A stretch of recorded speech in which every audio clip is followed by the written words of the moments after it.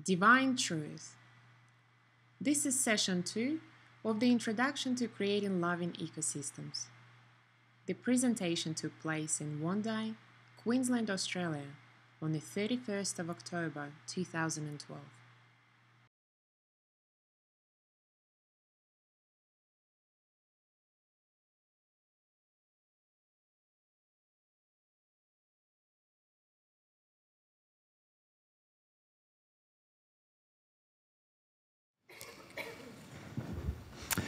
Okay, well, today is the second half of our discussion about creating loving ecosystems, and my volume can probably go down.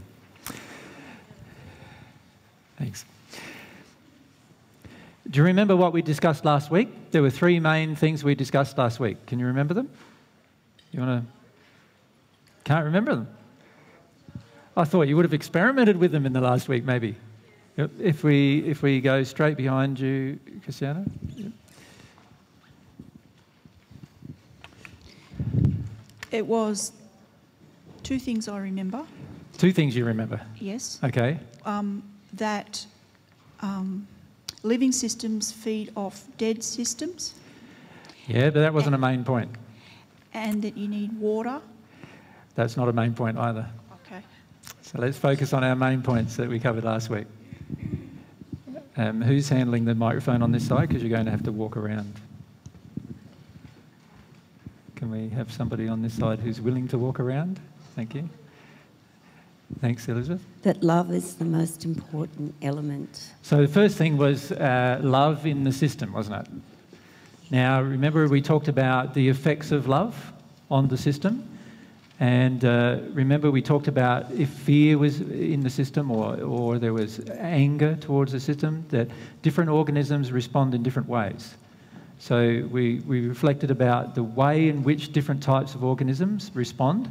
And remember, we talked about extroverted type of organisms and introverted type, types of organisms and how they respond differently to the same stimuli.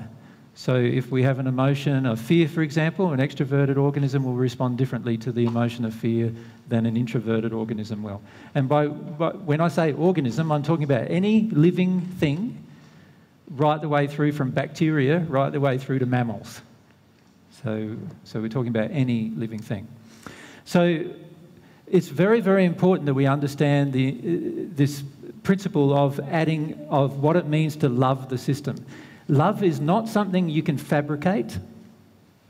Many people believe that it is, and it is, it is not. It is a feeling that you have in you 24 by 7. If that feeling does not exist, then there's no love existing.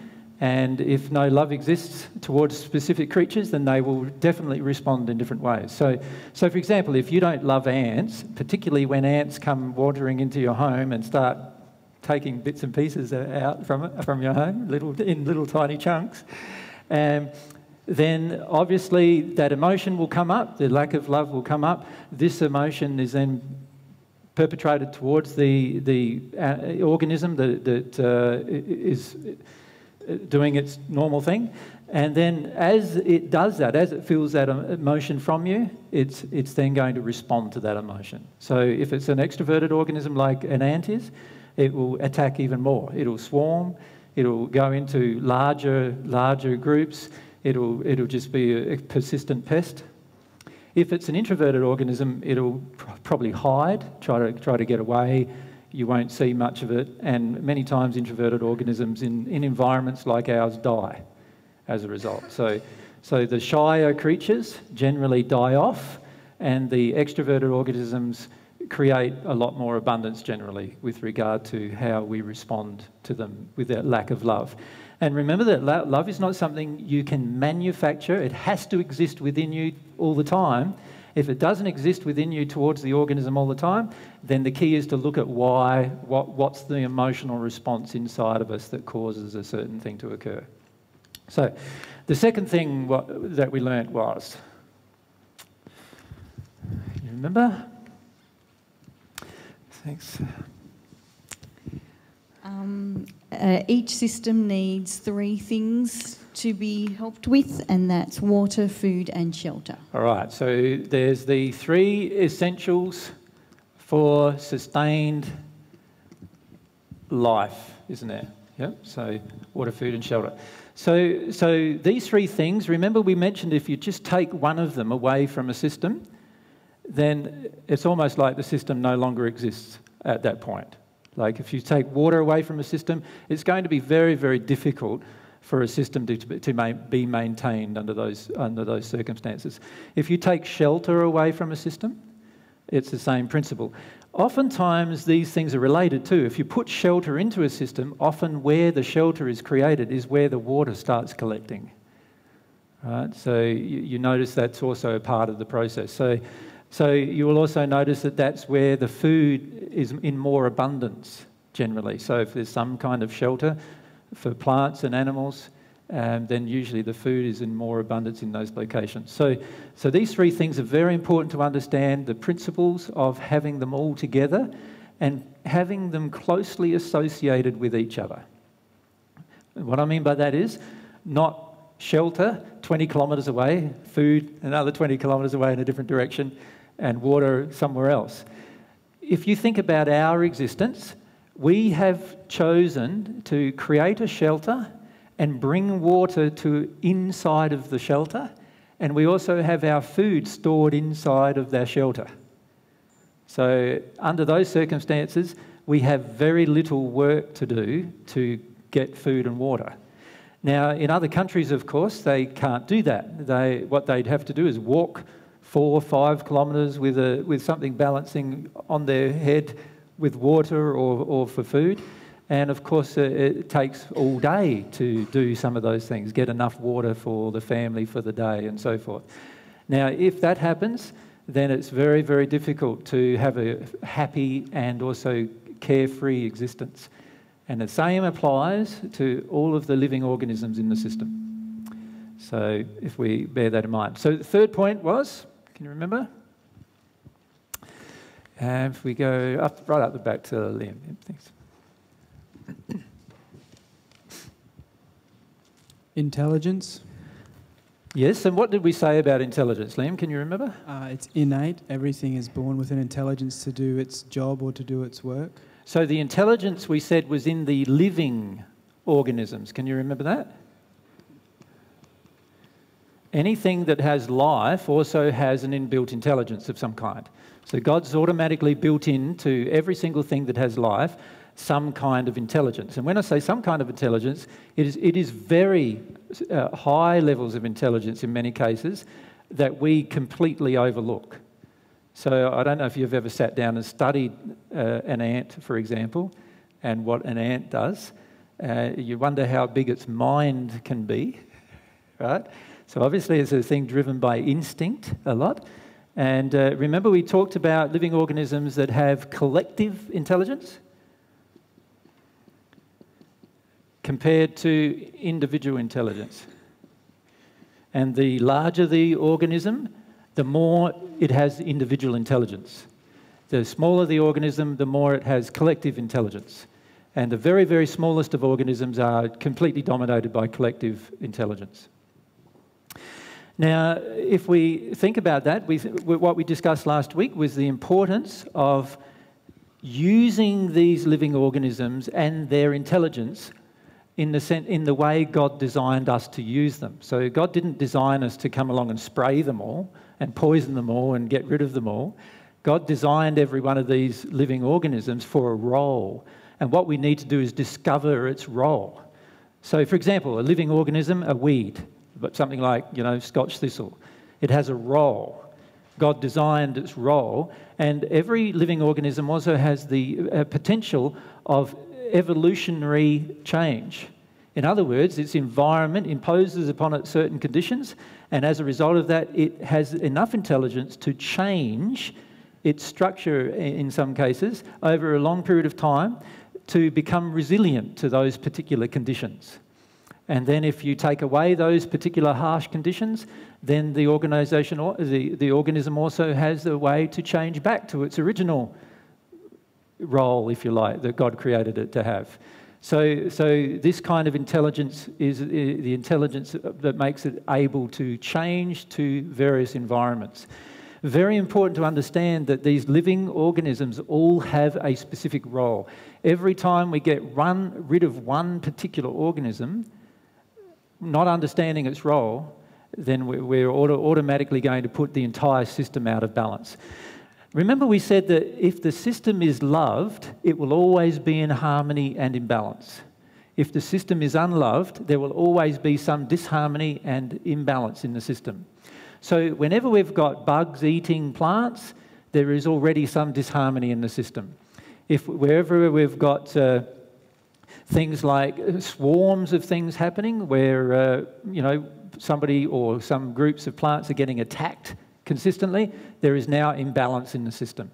Whenever there is imbalance in the system, we know that there's not a, a love in the system. There's something going on with regard to love in the system. And so, love in the system becomes the, a very primary thing that we need to focus on. Now, remember from all of the things you've learnt about love that love has to come from your soul and has to be produced through soul changes. It can't be something that you can intellectually manufacture. It can't be something that you can change what you do and then all of a sudden you love more. That's not how it works. You love more when you feel the feeling of love more. And you'll only feel it for different animals and organisms if you actually have the feeling for them. If as soon as you see them as a pest, then you no longer have a feeling for them that is a loving feeling, you now have an attacking feeling, and that is going to be obviously affecting the environment quite, quite a lot. Does everyone, everyone gets that? Okay. So then we come to our fourth point that we need to talk about. And this point is something that uh, I've been trying to introduce to you over many years, actually, in the discussions about the soul that we've had. Remember, we've talked about the human soul and its effect. So, this is point number four and we're talking about creating, I'll just write the topic on the board actually. Creating loving ecosystems.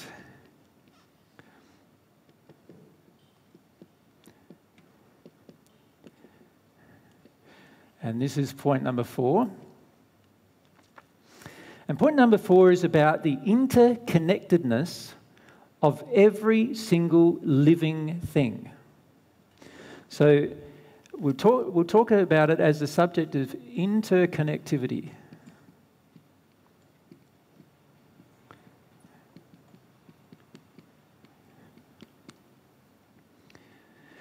Now, it's inter, everything is interconnected on a number of different levels. First level is physical in that every single living creature on this planet, and any, and any planet actually, um, is somehow connected with each other from a physical perspective, from an atomic perspective. In other words, everything that, that, my, everything that makes up my body came from this environment at some point. And everything that makes up my body currently, once I pass, will go back into the system it'll, it'll replenish the system that it came from. Does that make sense? So, all of the organisms and all of the things that are inside of my own body are connected with everything else in, in the, on, the, on the earth. So, that's the physical structure. Now, people on the planet are pretty aware of that, I feel. most people know that that's the case. This kind of interconnectivity, though, that we're speaking of is, is more what, what I want to focus on is the soul interconnectivity. Now, we've done lots and lots of presentations on the human soul and its power, its emotional power, and how the human soul functions and works, the two halves of the soul, that everything that's going on in the soul is emotional. The, we've talked about how the human soul is like a great big antenna sending out signals into the environment that the environment is responding to. You've, you've remember all of those kind of discussions? Okay. This is where it gets very, very difficult for most people to understand what's really going on in their environment because the greatest effect on your environment is your soul. Right? It is the condition of your soul that has the greatest effect on your environment. Now, this happens right down to the elemental level. For example, if your soul has a certain emotion, let's say it's an emotion of fear, for example, that your soul has, and in your soul, you're carrying around this fear every single moment of your life until you release it. Until you experience it, you will not release it. So while you're carrying around this fear, every single living thing, every single living organism that is around you at any point in time, and any living thing that you are connected to on the planet at any point in time will feel that fear from you. Right? Every single thing. Now, fear causes a lack of absorption of certain minerals. Right? So, as a result of the fear that your soul is carrying around, your own body will not be able to absorb certain minerals. This is why the vitamin supplement in, you know, industry has grown exponentially over the past 20 or 30 years, because many of us are not absorbing the minerals we need on a day to day basis. We're not getting them from the food we eat. And on top of that, even if the food that we ate had them, many of us, because of the emotion that we have, would not be able to absorb them anyway. So what we finish up doing is we finish up taking like a vitamin supplement or a mineral supplement in order to, you know, make that better somehow. However, it is the emotion that prevents the absorption. And not only does the emotion prevent the absorption inside of yourself, but every single living organism that surrounds you, that is connected to you in any way, will also have a similar prevention of absorption of that particular mineral. Every single living thing will struggle with that particular absorption of that particular thing.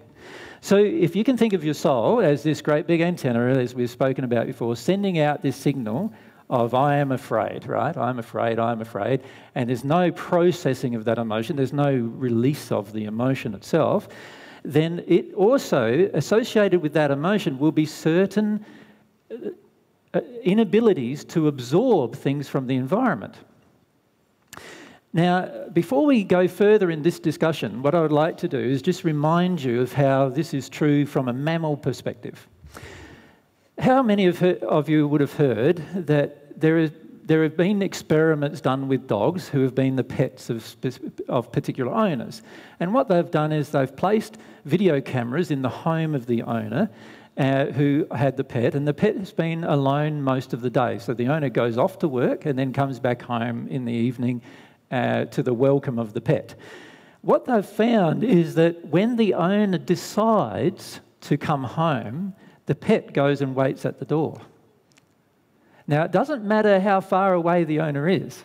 Like, he could be two hours away, and he decides two hours at that point in time he's coming home. The, the animal will go and wait at the door. If it's five minutes, then the animal will go and wait until five minutes before he comes home. So we know that there is a connectedness between the owner and the pet. Makes sense, doesn't it? And we, we know this all the time. Many of you who have pets know this, right, from your own experience. They've also done experiments with uh, lactating mothers where they've separated the lactating mother from the child that, that, that they're breastfeeding. And they found that when the child started crying and it was a hunger based cry, the mother's breast would automatically begin to lactate right? Even if it was in a room where, even if the mother was in a room where they couldn't hear the child crying, right? So there is a connectedness between these, between these two people.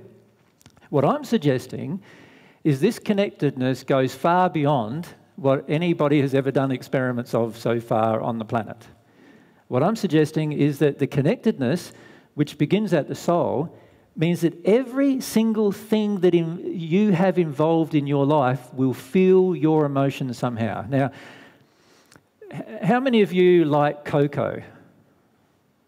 Chocolate? Cocoa, yeah, okay. okay. I, I don't go for it much, but um, Mary, Mary loves it. So, um, so uh, do you know where it's grown? Mostly South America, isn't it? Yes? Mostly in South America, because it needs a, generally a tropical or a subtropical environment to grow. Um, so we, we import it, right? Well, do you know that the very the bushes that grow the cocoa that you eat are connected to you? And they're connected to you because on two levels. They're connected to you on a physical level, in that a substance they produce enters your body, and so you are now connected physically. But they are also connected to you emotionally because you have a desire for those particular bushes to continue producing that particular substance. Those bushes will feel your emotional condition. Does that make sense? Now, as you grow in your soul, in terms of as your soul expands, you will finish up affecting many, many different things that you consume. And the more power that your soul has, the more you affect it.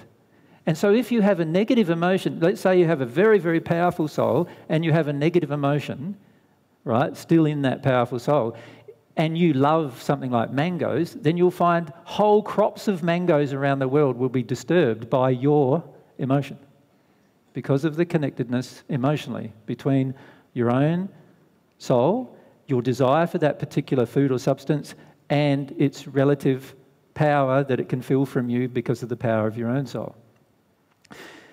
Now, obviously, if, if you became at one with God, the only effect that that would have would be a loving effect. Right? But, for, but because we're not yet at one with God, any negative emotion we have has an effect on every living organism that we are connected to emotionally. And it doesn't matter if it's in your backyard or around the other side of the world, it still has the same connectedness. All right? Christiana?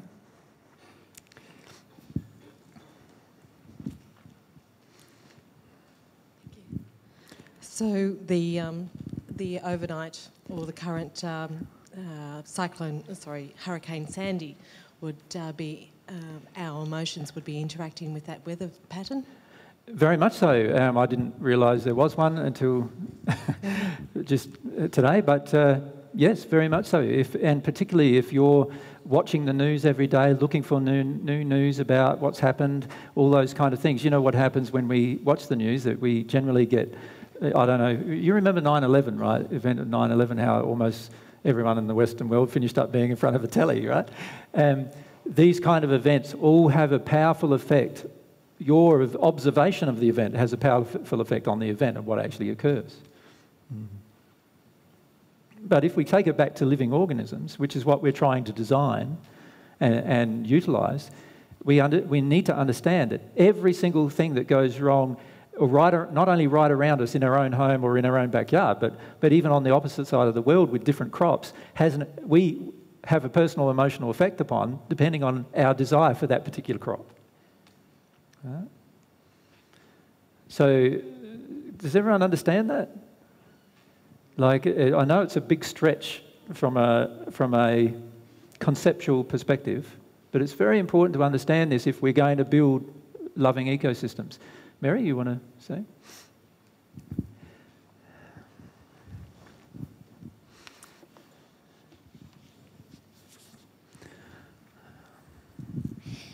Uh, we were just having a really interesting discussion about this on the way here about the direct and indirect way we affect um, the things that we consume and the things that we take an interest in in the world. Yeah. Um, and I just thought that was a really interesting um, way to feel about it. Obviously, if I if I love sugar, I have an indirect impact on the cultivation of sugarcane in that I create part of the demand. Exactly. But also, if my feel, feelings for sugar are addictive, I'm directly impacting on how sugar crops um, actually function in the world and exactly. how well they grow and. Uh, equally if I have like a lot of. And because um, my addiction is usually based on a reward system with sugar, we, we love sugar, we use sugar as reward you know, obviously what happens when we start planting then sugarcane fields, we finish up destroying large amounts of other systems as a result because we're looking, we're playing favourites with yes. particular food. Yep. Yeah, I just thought that was a great way to sort of elucidate the. Yeah. Yeah. So um, if we talk, uh, what everybody else thinks is a direct influence, I feel is an indirect influence. In other words, what I would classify as an indirect influence is the fact that I'm eating sugar here in Australia, I'm creating a demand that demand has to be satisfied under the law of uh, under different laws of supply and demand and so forth. That demand will be satisfied by somebody else deciding to create a supply for that particular market. I call that an indirect influence. The soul is the direct influence. So, so most people would see it the other, other way around. Most people would say that initial thing that I just said, how my demand creates the supply, that's the direct influence. I feel that's the indirect influence. There's an emotional reason why I demand it, right? And if I do not address the emotional reason why I demand it, then, then the indirect influence is also created. Right? So I see the soul as having the direct influence on the demand, and my actions as having an indirect influence on the demand. Now, this also applies to creating loving ecosystems. Every single time I have a demand for a certain supply that's out of harmony with love, it's based on an addiction, it's based on some kind of emotion that gets satisfied when I have that demand satisfied, then I am automatically creating an unloving ecosystem. So, how many of you considered that your desire for sugar has creating an unloving ecosystem? Or your desire for cocoa, or your desire for coffee, or your desire for any of these very, very large scale pro, uh, produce, produce crops that are usually cleared, uh, where large scale clearing is involved, these are all based on our soul and what it's creating. Its demand creates the environment. So, so for example, uh, many of the forests of uh, all the way through Asia are being destroyed and they're being replanted with palm oil, uh, palm plants, right? Now, palm is a oil is something that we and most of us would use almost every day, even unknowingly, and uh, it's our demand that creates that supply. And, and of course, therefore, destroys the ecosystem. If we didn't demand it, then the supply would dry up, and then there would be no clearing occurring. The ecosystems would be better. So, so we need to understand how everything is interconnected to our soul and how our soul's demands are actually creating the unloving ecosystems. Can, can you see that? So, Jennifer, thanks. Um, just to see if I'm clear with this. Um, if a person like myself has an addiction to chocolate. To chocolate? Yep. Yep. Um, and that addiction is because I don't want to feel my feelings of loneliness or separation or whatever. Um, Sadness, yeah. Yeah. Um, so desire for a, a, chocolate normally gives you. A lot of women have found uh, chocolate during a, during a period time is, is something they really, really desire. Why is that? Do you feel? What, what does chocolate give you? A feeling of? Love. Yeah, feel, feeling of love. So that means the, the feeling that really dri- driving the desire for chocolate is that you feel unloved. Does that make sense? Yep. Now, now, while that feeling exists within, yes, you will desire that substance that fixes or has an immediate effect of affecting, fixing in inside of our brain. It has an immediate effect of fixing those particular feelings, temporarily, of course. Yep. It, it, it's an addiction. Yep. So, if I just simply had a desire for broccoli, for example, mm-hmm. and there was no addiction whatsoever, mm-hmm. and let's say lots of people really loved broccoli, but because it was really good for us and we enjoyed it, but there was no addiction, would that create a demand, an unloving demand? it would create a demand, well? yes. But uh, if you look at uh, market gardens, for example, a garden that grows vegetables, have you noticed that they are much, much smaller than the gardens, or we would call them the farms, that grow these other substances such as wheat for flour and, you know, the large scale cropping is all to do with large scale consumption of a particular product that's based generally on an addiction inside of humanity that's then based upon the suppression of a certain emotion. Yeah, and the market gardens are often more diversified. So it does. Yep. And could even be more, be more so if they were if they were planted in a loving ecosystem based way, certainly. But does the um, the emotional demand of the chocolate, does that create a, a more unloving effect on the environment than the broccoli demand, even if it was like the same amount? Definitely. Okay. Because you, you, if, if you are demanding something based on an addiction, you very rarely consider the consequences of what you're doing. If you are demand, if you are desiring something and it's not an addiction, you always generally consider the consequences of what you're doing. This, have you noticed that with addictions? When you are truly in an addiction, you do not consider the consequence of, of the addiction on the world. Don't want to Right? know. You don't even want to know. That's the reality. When you are in a place of desiring something, you want to know all the consequences of what the desire is about. And, and that is a very much more loving state than having a demand or addictive desire for something. So every time you have an addiction for a particular product, you are creating an unloving ecosystem automatically. That, that's the result. So, so we've got to be careful that we're not hypocritical. We're here learning about creating loving ecosystems, while at the same time, our soul's demands and addictions are creating a heap of unloving ecosystems. And we need to recognize that. We need to recognize that every time I try to suppress emotions that I have inside of me by using substances, whatever those substances are, even if they're legal, then what I'm doing is I'm creating, uh, I've, I've got an addiction. That addiction creates a demand. The demand has an indirect response and a direct response on the world around me. And those demands will automatically create an unloving ecosystem because you'll have to clear lots of land, you'll have to get rid of a lot of other systems in order to satisfy this addictive demand. So we need to recognize that we're, we're being quite hypocritical if we think that we can fix up our own little ecosystem at home while at the same time maintaining our addictions for other substances that the rest of the world has to supply. Can you see that?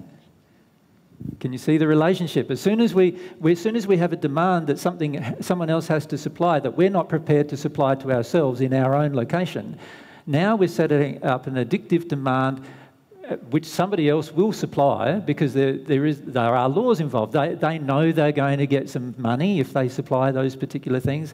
They'll have a better standard of living if they supply those particular things and so forth. And so before you know it, you get this entire system being created based purely upon my own addiction to suppress this particular emotion. So you will find that uh, when you feel certain feelings, for example, you demand higher carb- carbohydrates, right? Have you noticed that? Have you noticed that? Yeah. How, how sometimes you want bread or you want, you want something that feels like it's going to fuel you up. Have you noticed that? Yep. And particularly if you've gone off a meat diet um, and you're no longer on a meat diet, because that used to fill you up for a long periods of time. Meat normally takes from anywhere from six to 12 hours to digest. So every time you have a meat meal, you fill up for 12 hours while your body's trying very, very difficult to process it. When once we give up that kind of a diet, we usually go then for high amounts of uh, complex carbohydrates.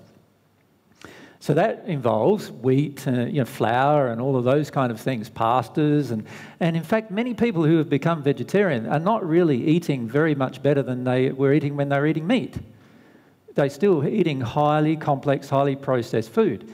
And as a result of that, the reason why they're doing that is because they have an addiction for carbohydrates, and the addiction is driven by the desire to suppress certain emotions to do with love, or rather being unloved. So, so if I'm unprepared to address my addictions, then I am being quite hypocritical considering building some loving ecosystems in my own backyard, while at the same time destroying many ecosystems around the world through my addiction. And I need to consider this the relationship between what I'm desiring, what my demand is, and the willingness of others to supply that particular demand. Um,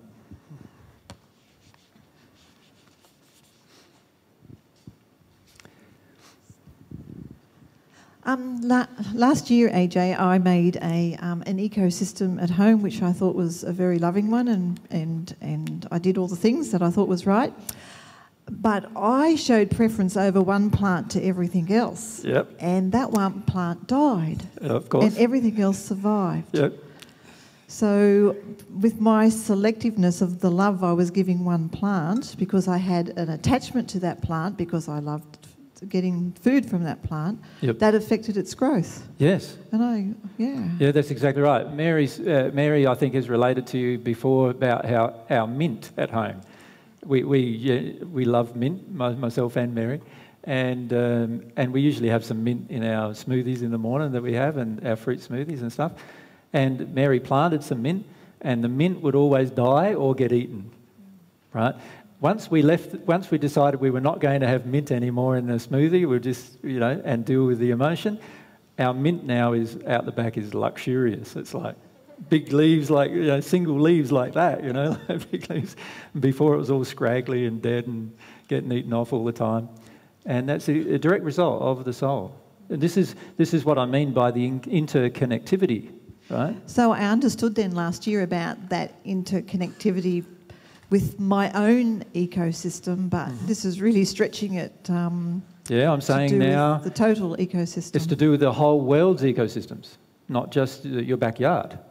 Yeah. So it's no good creating an ecosystem in your backyard um, while at the same time destroying heaps of ecosystems elsewhere. You know, it's not very fair, is it? You see, the, the, the attitude we generally have is that it doesn't really matter what happens in the rest of the world, it, just so long as my backyard's fine. Have you found you've had that kind of selfish attitude sometimes? And, and that kind of attitude is a very damaging attitude to the rest of the world. This is the kind of attitude that causes uh, most people in Western, the Western countries of the world to consume four times more than the world itself could actually supply if the entire world was consuming that amount. Right? We would need four Earths to provide the consumption of, uh, for, for the same amount of people if everybody on the earth consumed the same amount as every American. Did you know that? We need four Earths. So obviously it's not sustainable. So we've got to start changing it.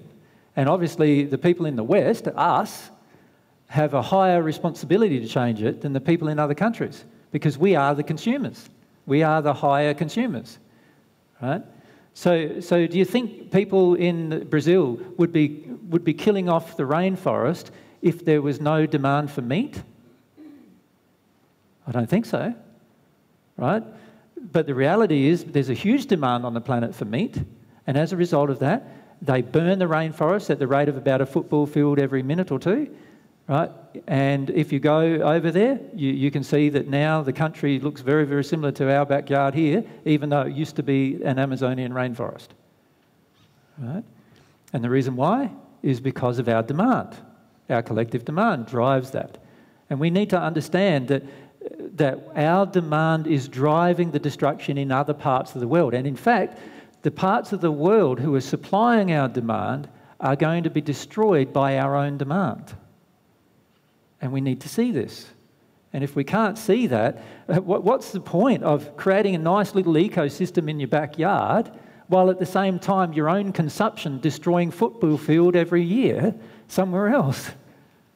Like, can you see? We, we need to change something if we're going to be truly conscious of what's really going on with regard to the entire world supply.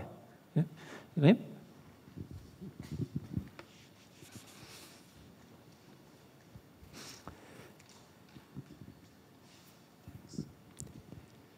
Um, so if everyone stopped demanding tomorrow, it would still have an, uh, an adverse effect on these developing countries, much like uh, Definitely. with the last with the last talk you spoke about. If everyone like tried to rewild their pets, it would have the same effect on these people. Like it would Exactly. be It'd be very unloving, wouldn't it, actually? Yeah. If you think about it. If everybody on the planet stopped eating meat all of a sudden, all of these people who were dependent upon the supply and demand chain of meat would all now have to supply something else. Otherwise, they'd no longer have anything for their own existence. As soon as we enter a system, and this is where I've talked to you before about economic systems, but as soon as we enter an economic system where you have to pay for the three basics of what are the three basics again? food, shelter, Water, food, shelter, as soon as you ha- enter an economic system where you have to pay for these things, you are automatically going to, to have an imbalance in the system because it is totally unloving to make anybody pay for such things. Right? So our entire economic system is based upon an unloving premise. And therefore, it is going to include the destruction of the environment. Right? Now, if these three things were supplied as needed to people. And we weren't talking about supplying anything out of harmony with love, out of harmony with lo- lo- a loving system. So, in other words, we wouldn't supply meat, we would supply vegetable material or other things that are much better for a person and also much better for the environment and more sustainable. Then every single person on this planet could be given water, food, and shelter and not have to pay for it. Now, every single person on this planet would then not be focused on producing anything for, food, for, for their own sustenance, in the sense that they wouldn't be focused on having to get money in order to do other things with their life. And now, the rest of their life, they could be involved doing whatever they wanted. This is exactly the same principle with every other living creature on the planet. Exactly the same. If we take away shelter, food, or water, in other words, we restrict the supply of some of these key essential ingredients to a system, if we restrict the supply of any individual ingredient, we are automatically creating a price on it. And as soon as we create a price on something, we are now in an unloving ecosystem. we we now have a, a, totally unloving system as a result.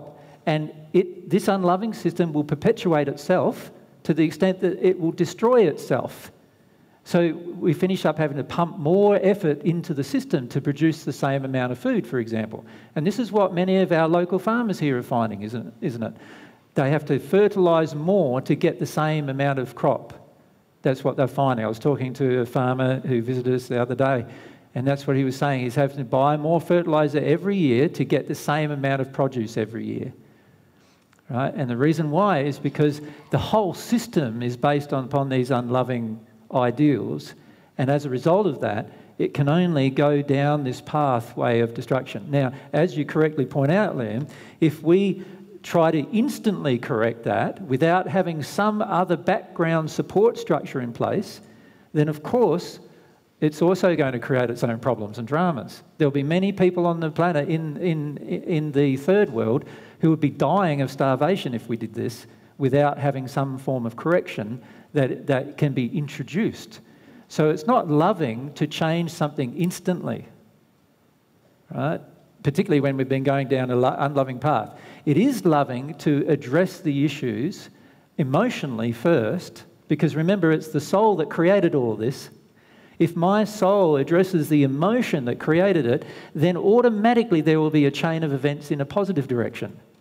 It is my soul in a negative emotion that created the negative chain of events. So it would make sense then that if I place my soul in a positive direction of change, in terms of dealing with and addressing the particular emotions associated with why this is occurring, then everything around me will start changing in a positive direction. Yep. So I believe that you do need to stop unloving behaviour as soon as you're aware of it. So if you have an addiction and you know you have an addiction, the most loving thing for you to do is to stop the unloving behavior immediately. Right? That, though, does not address the emotion. It doesn't address the reason why you have the addiction. And to be truly loving, we need to address the reason why we have the addiction. We need to release from us the emotion that causes the direct result that creates all of these systems that are unloving. So, so the reason why I wanted to raise this particular point of interconnectivity with you is that I want to illustrate with you that it's pointless to try and change something physically on your own location, block, land, or whatever it is that you have, even if it's just a little backyard property. It's pointless trying to change that if, if you don't have a, also a strong desire to change, pardon me, change your soul, change your soul's addictions and desires. Because your soul is actually creating a lot of unloving ecosystems elsewhere. So we need to understand the relationship between what our soul is creating worldwide, not just in your own little backyard. And this is very important to understand. And once I start understanding this relationship, I can see that the most work that I need to do needs to be focused around releasing from myself my addictions relating to the demands of the, of the environment. So, so, for example, if I have an addiction to food, you know, that I need a certain type of food every single day, and if I don't get it, I get grumpy and I get upset and, you know, I get annoyed or whatever. Let's say that's tobacco or it's, you know, drink, alcohol or some kind of thing that I get annoyed with if, if I, I, I get annoyed with everyone around me if I don't get it. It's very important for me to begin to address those particular emotions if I truly want to create loving ecosystems. So, so I, I, I sometimes am totally amazed at many environmentalists that I meet, because many of them I feel are quite hypocritical when it comes to their demands upon the system. They have very high, many of them, very high demands in certain areas. They have certain addictions of certain substances in certain areas of their, of their, of their life. And that there's a huge demand in those particular areas coming from them. And then they want the world to be more eco friendly, but at the same time, their own actions are causing a lot of not eco friendly results. And so, this is where, if we're going to truly care and truly love our environment, we need to examine honestly what's going on in our soul. Okay? So, it's a very important point to understand. Now, if we add these three, three or four points together now that we've made, because they, they form the basis of any new ecosystem that we're going to create in practice.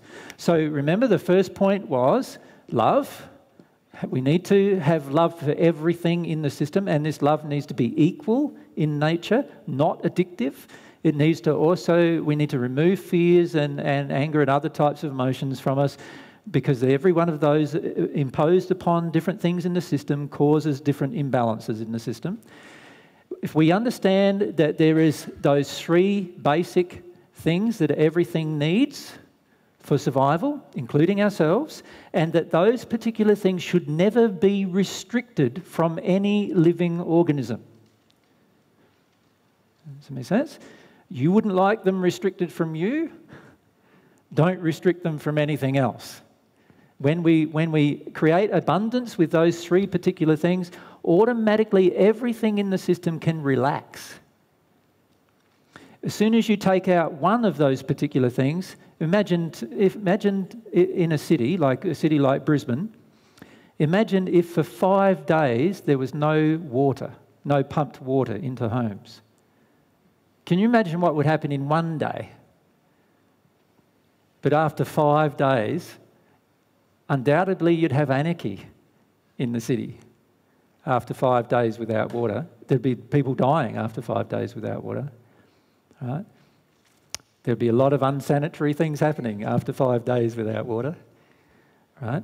So, so if you just reflect upon that, if you take away these things from other parts of the system, of course they're going to respond as well in a very similar way. Right? The third thing is that we had the, the intelligence was in the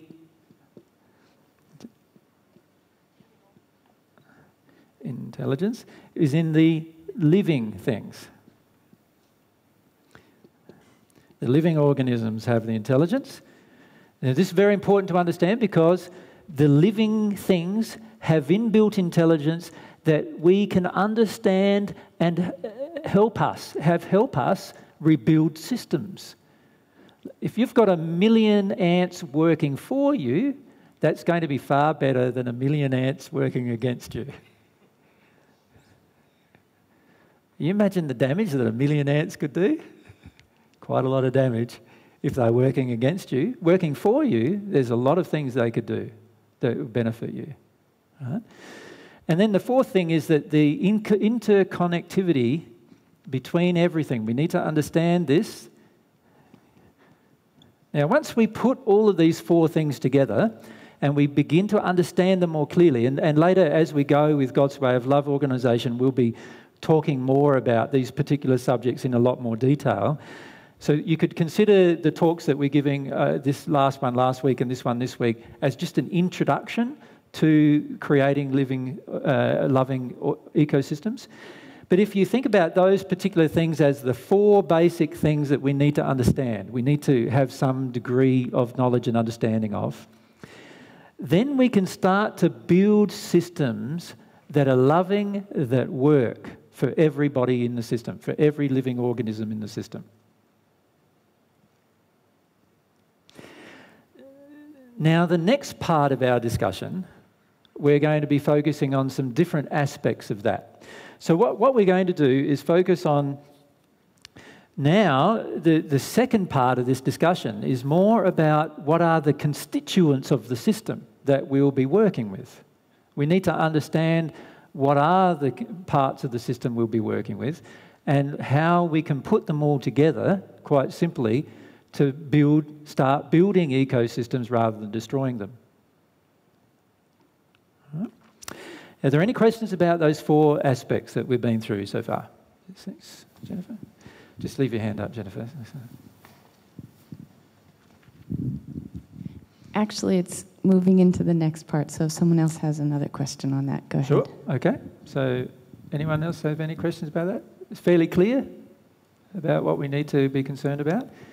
Now, you can, through your own experience, through your own experiments, even start to experiment with those four particular things.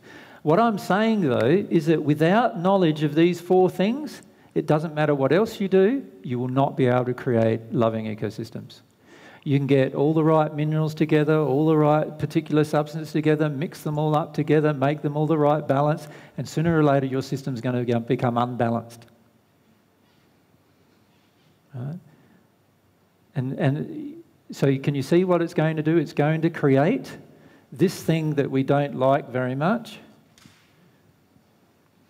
work. See, every, every time we don't address these four basic issues, our system will become unbalanced, and then to fix it, we will need to work harder. Right? And this is why many of us with our gardens are working every single day. It's like we're slaves to our own garden. Do you think God created it to be like that? What, there's an interesting quote in the Bible from the, about the Garden of Eden.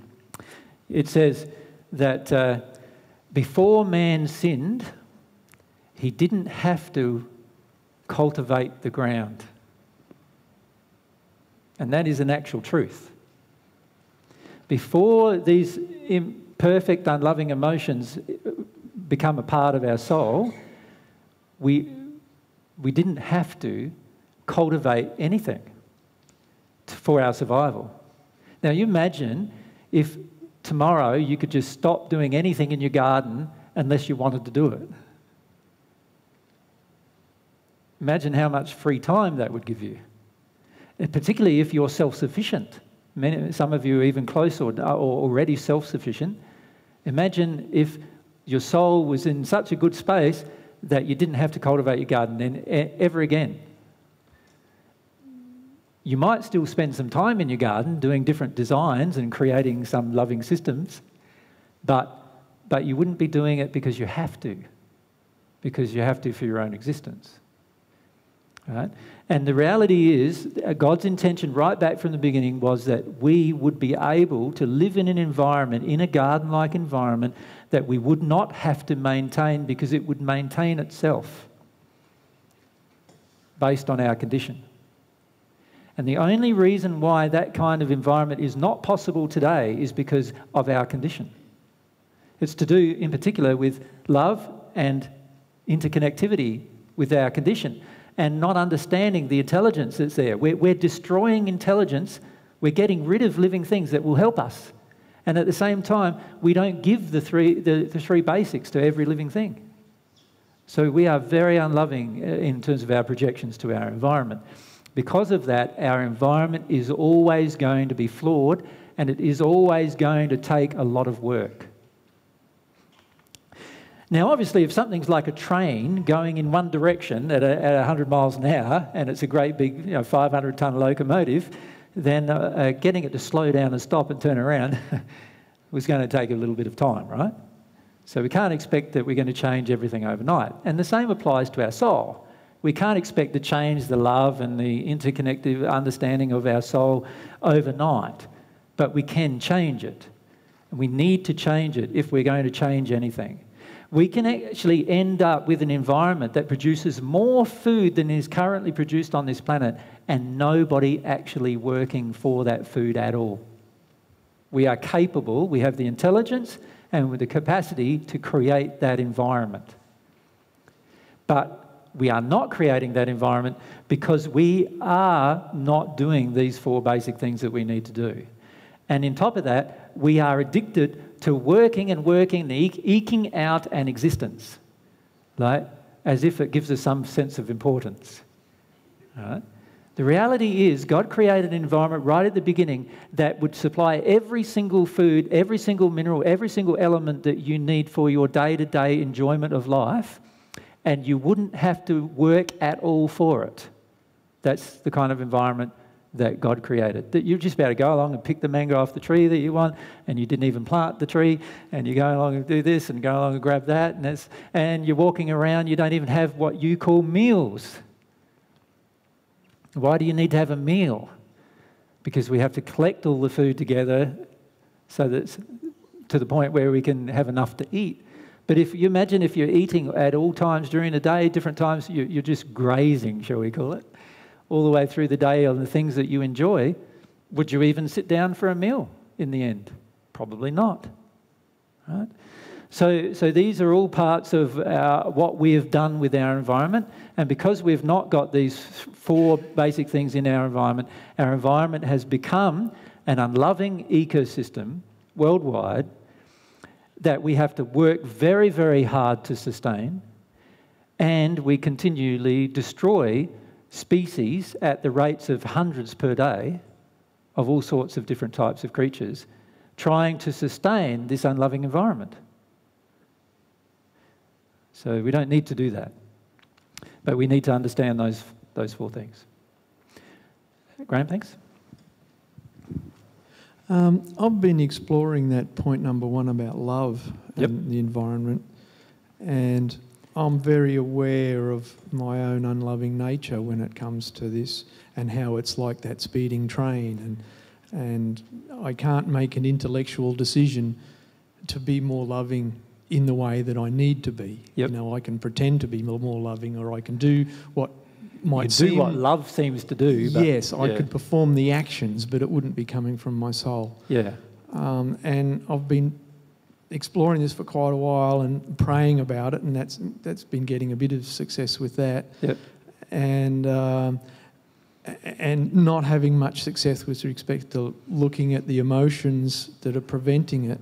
But one thing I have discovered that seems uh, useful is that um, every now and then I seem to fluke it.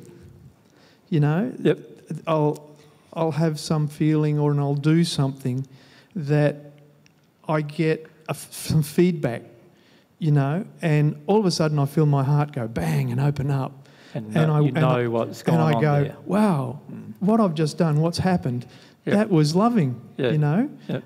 And it seems like it's really useful to be, when that happens, to jump on it and go, wow, oh, yeah, and feel it and explore that, you know? Yep. God's always giving us feedback like that. A lot of times, though, we're not recognizing our feedback, the, feedback system. See, the law of attraction is the feedback system that God's giving us constantly. But uh, in the course of a day, most of us recognize one one hundredth of the feedback most of the time. The key is to become more aware. We need to all become more aware of the feedback system. Now, when you find that you're not finding the emotions that cause you to become more loving and you're not getting close to there, the primary thing you need to be aware of is fear. Now, most people deny that they feel fear. But fear is the most likely emotion that's preventing us from getting to know what the other unloving emotions within us are.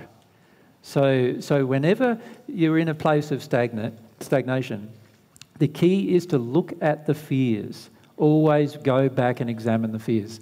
Now, we've given a lot of talks about fear and how to process fear, find your fears, process your fears, and so forth.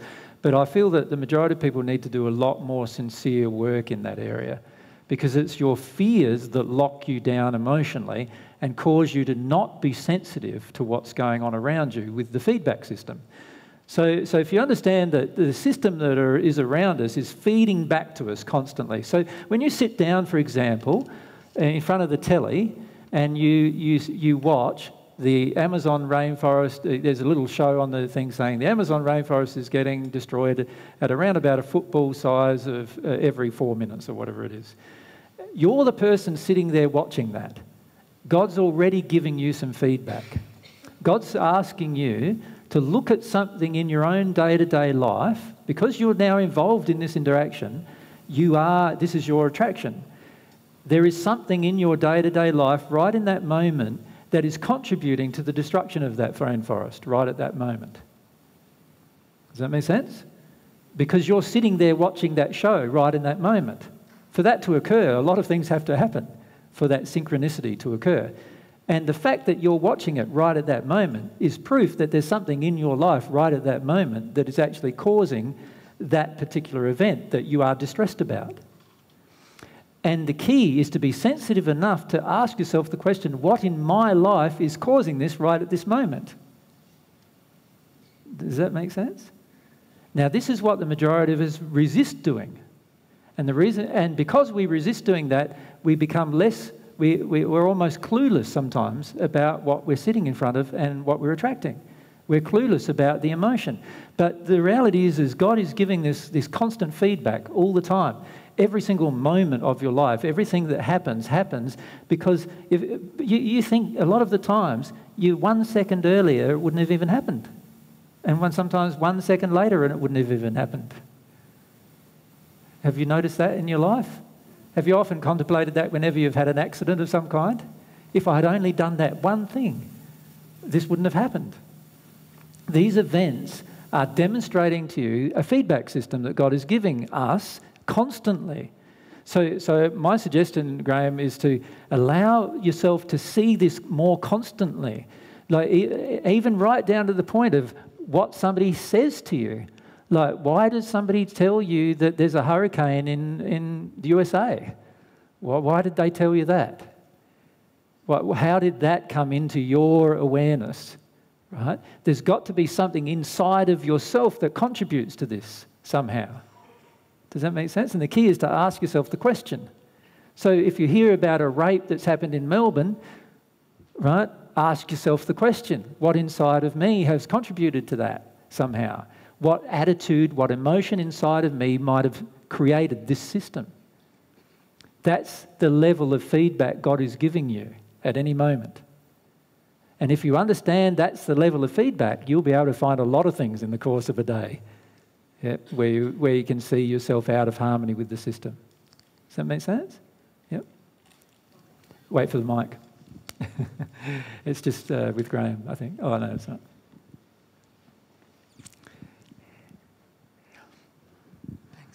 Um, yeah, I haven't watched a lot of the Law of Attraction ones yet, but uh, what's the difference of, say, I mean, you've heard of, say, of a rape in Melbourne or the Hurricane Sandy or whatever, um, and say you've, but you've, I mean, I'd say have dealt with that emotion, whereas, say, maybe the rest of other people haven't.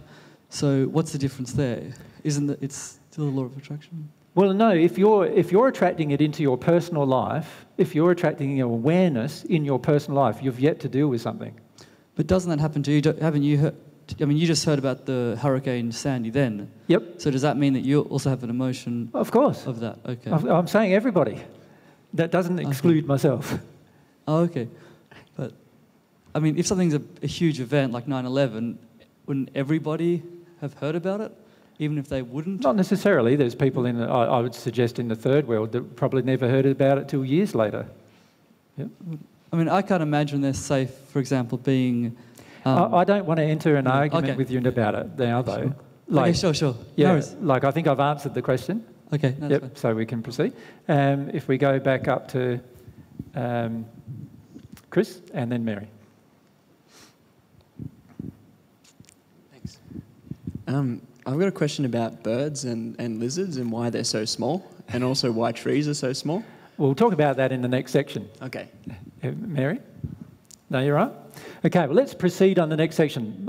At this point, we're trying to uh, get to the point where we understand that there's these four basic things that we need to know a lot about and we need to investigate more.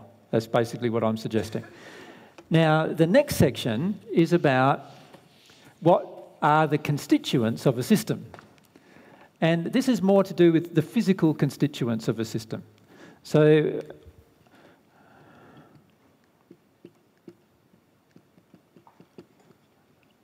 constituents, ants.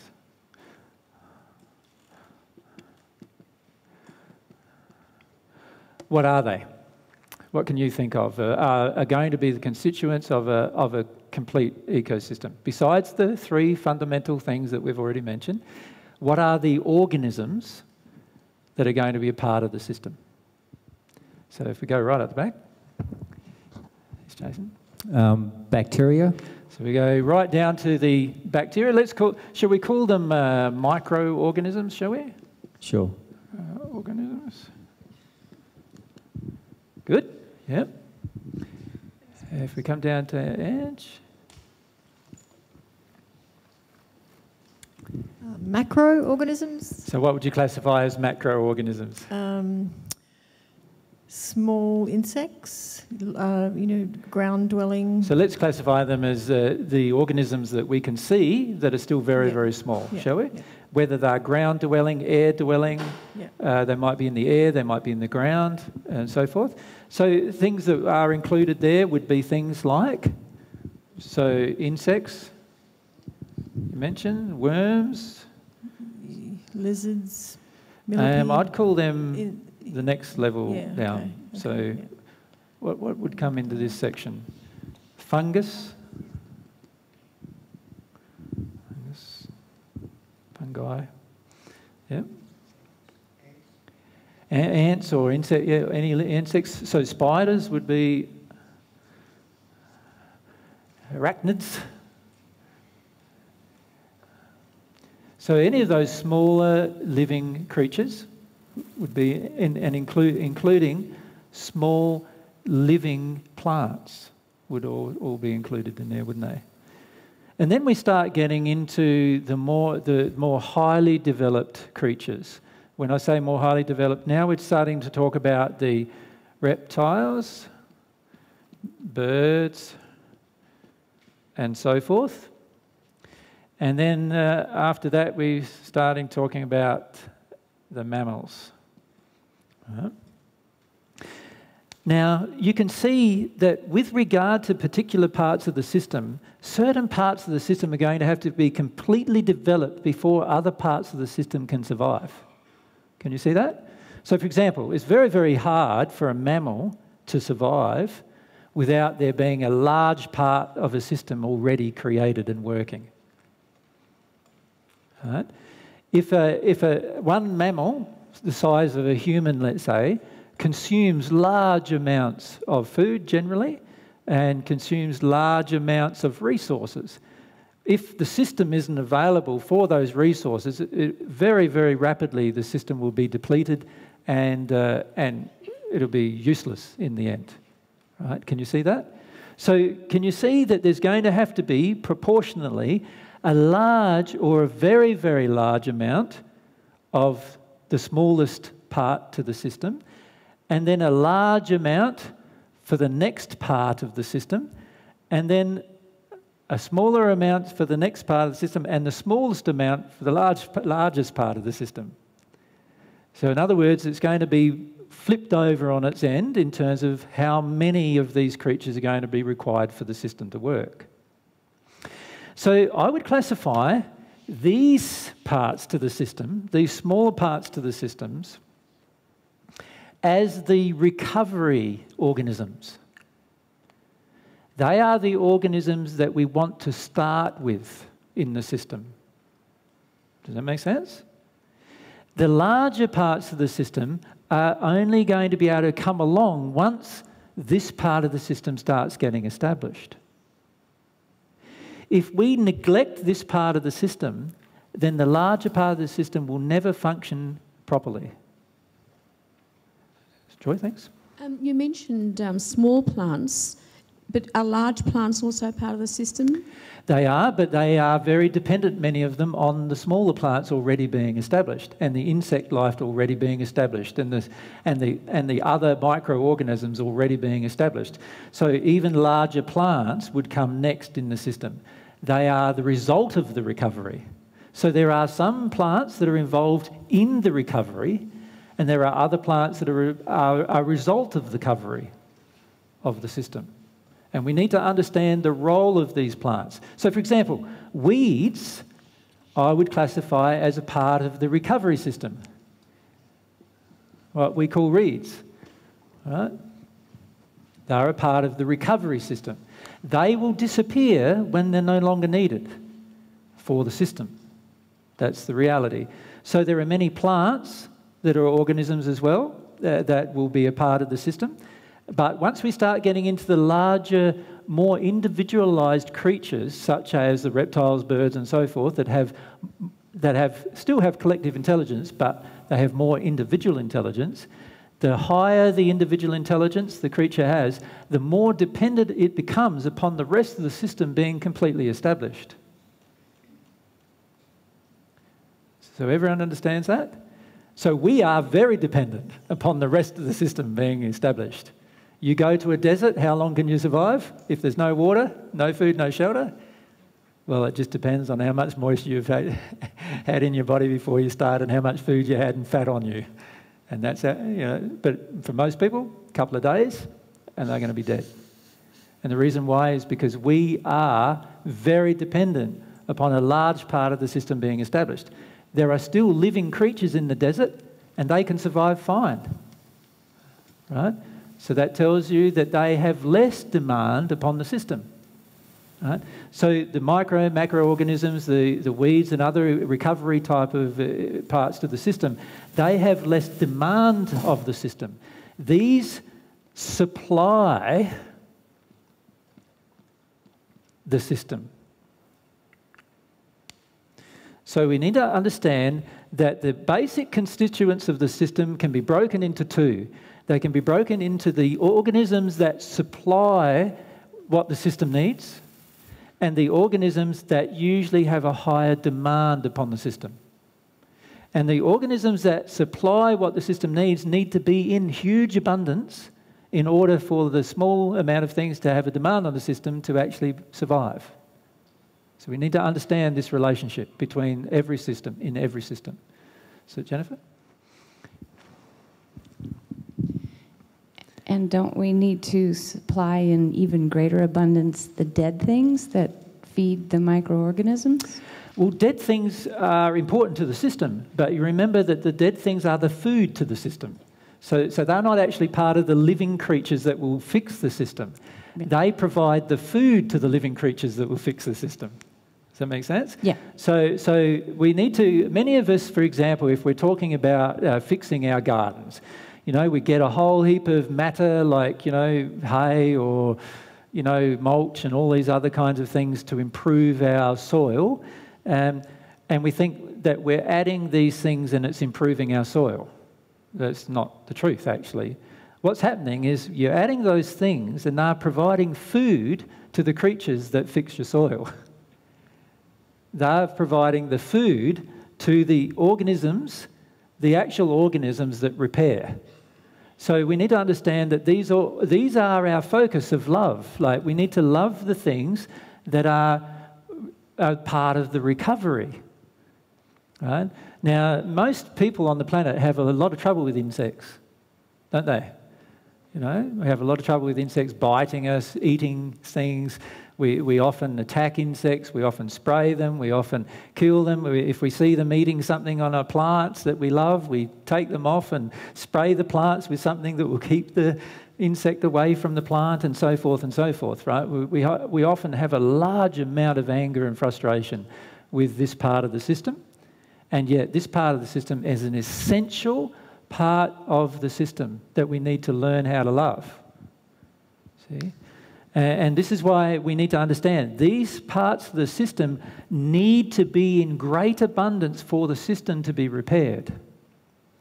We need to create systems food, water, shelter, that firstly supply what these things need to survive. We don't want to destroy them, we want to help them go in abundance. We don't want to pull out the weeds, we want to have hundreds of them, millions of them, because they'll do their job faster and then they'll just die off naturally once they've done their job. Everything in the system is like that. It has intelligence. We need to respect its intelligence. If you fight against its intelligence, you will destroy your own system that you're trying to create. Right? Every single forest on this planet began with a few weeds in, in rock, many of them. Right? Why? Because eventually it added more system, more protection, more support, more water, more food, more shelter for more living creatures. And eventually we have this cycle occurring where it gets more, more, more, more. And eventually we can have trees like uh, nearly 100 meters tall growing in that system. And it all starts from these living organisms that are the living organisms that we generally know little about, have little respect for, and usually try to destroy. And we need to stop this if we are going to create systems that work. So it's very important for us to understand that we, mammals, we are part of that set, if you like, we're the highest intelligence mammals on this planet, uh, although that's sometimes debatable. And uh, uh, we need to understand that we are dependent upon these recovery parts to the system we have a complete dependency on these things working for us. If, if they didn't work for us, we would not survive. It doesn't matter how sun, much sunlight we had, how much water we had, we'd not have any food. Because we have our food because of these things.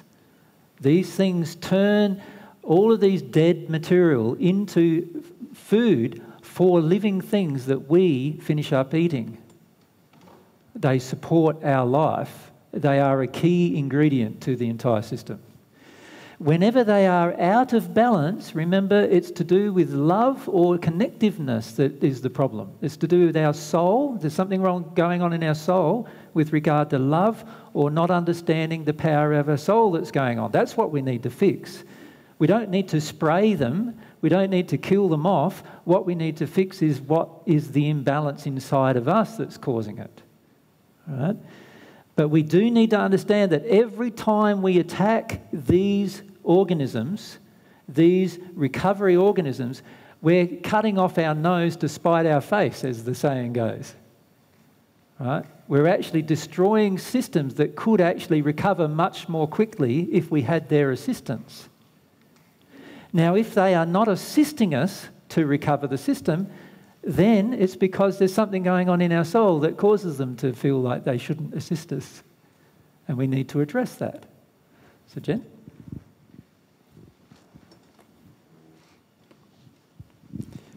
I'm not sure if this is a relevant question, but in an environment, say, such as Chernobyl, where there's a total breakdown from the introduction of toxicity, to- can't say it, toxicity. Yep radioactivity in yeah. this case, yeah. So right down to, yeah, everything's died. Um, how, like in lots of our environments, we've got a, big breakdown of the system. How then can you repair? Well, firstly, let's look at Chernobyl. The reality is that everything didn't die. They thought that everything would die, but what actually happened, if you have a look on the net now, you'll see some videos 20 years later in Chernobyl, and there's forests growing, there's all these animals in abundance. In fact, they've found that it's in far more abundance than anywhere else in the Ukraine. And the reason why is because there's no people there, right? So, so also what they found is once you remove the people, then the people's fear is not imposed upon the environment. So, so there are animals walking around, healthy animals walking around in Chernobyl who have progeny that are not deformed. They are completely healthy. They live, like for instance, they have a cat, they followed a cat for four months or something. It had, it had baby kittens. All of them were not deformed. None of them were deformed. They measured the radioactivity levels in them, and they were four times as high as what a human would be able to survive under normal circumstances. And yet these animals were living completely uh, oblivious to there being any problem whatsoever. So we've got to ask ourselves if we put humans back into that system, what would happen? And there's got to be something going on in the humans that caused the response in the animals to be different. So what they found was, with the meltdown, there was only a few kilometres around Chernobyl that was badly affected initially, and even right now it's no longer affected. 20 years later, they expected that it would take thousands of years before any living thing would actually be in Chernobyl. 20 years later, there's trees growing, there's plants growing, there's uh, heaps of moss growing, there's animals eating those plants and trees, there's birds, there's heaps of wildlife, and they all function without any negative response to radiation, even though they have huge high toxic levels of radiation from our perspective in them. And you've got to ask the question how can that be? And the way it is, is because these parts of the system are only going to respond negatively to a system when you put a human in with the unloving emotions. You take the human out who hasn't got the unloving emotions and, and you, you preclude the human from the system, the system's in complete recovery.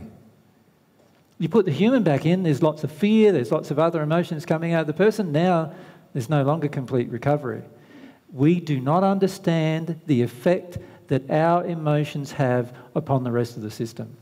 And it's very important that we do.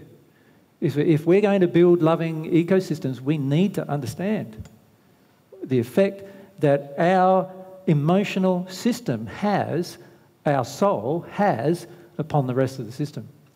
So, if you look at a system like Chernobyl, for example, you get a perfect example that what they believed would happen, like they, they believed that for thousands of years there would be no animals there, that any animals that tried to live there would be deformed and they'd eventually die out or mutate. None of that has occurred. Right? But you do have to question if humans were there, what would be happening? Because the reason why is there's an exclusion zone around the area and there is no humans there. So it's very interesting to investigate these particular things, and this is why it's important to understand the effect that, that our soul has on a system. Yeah. Yep, done.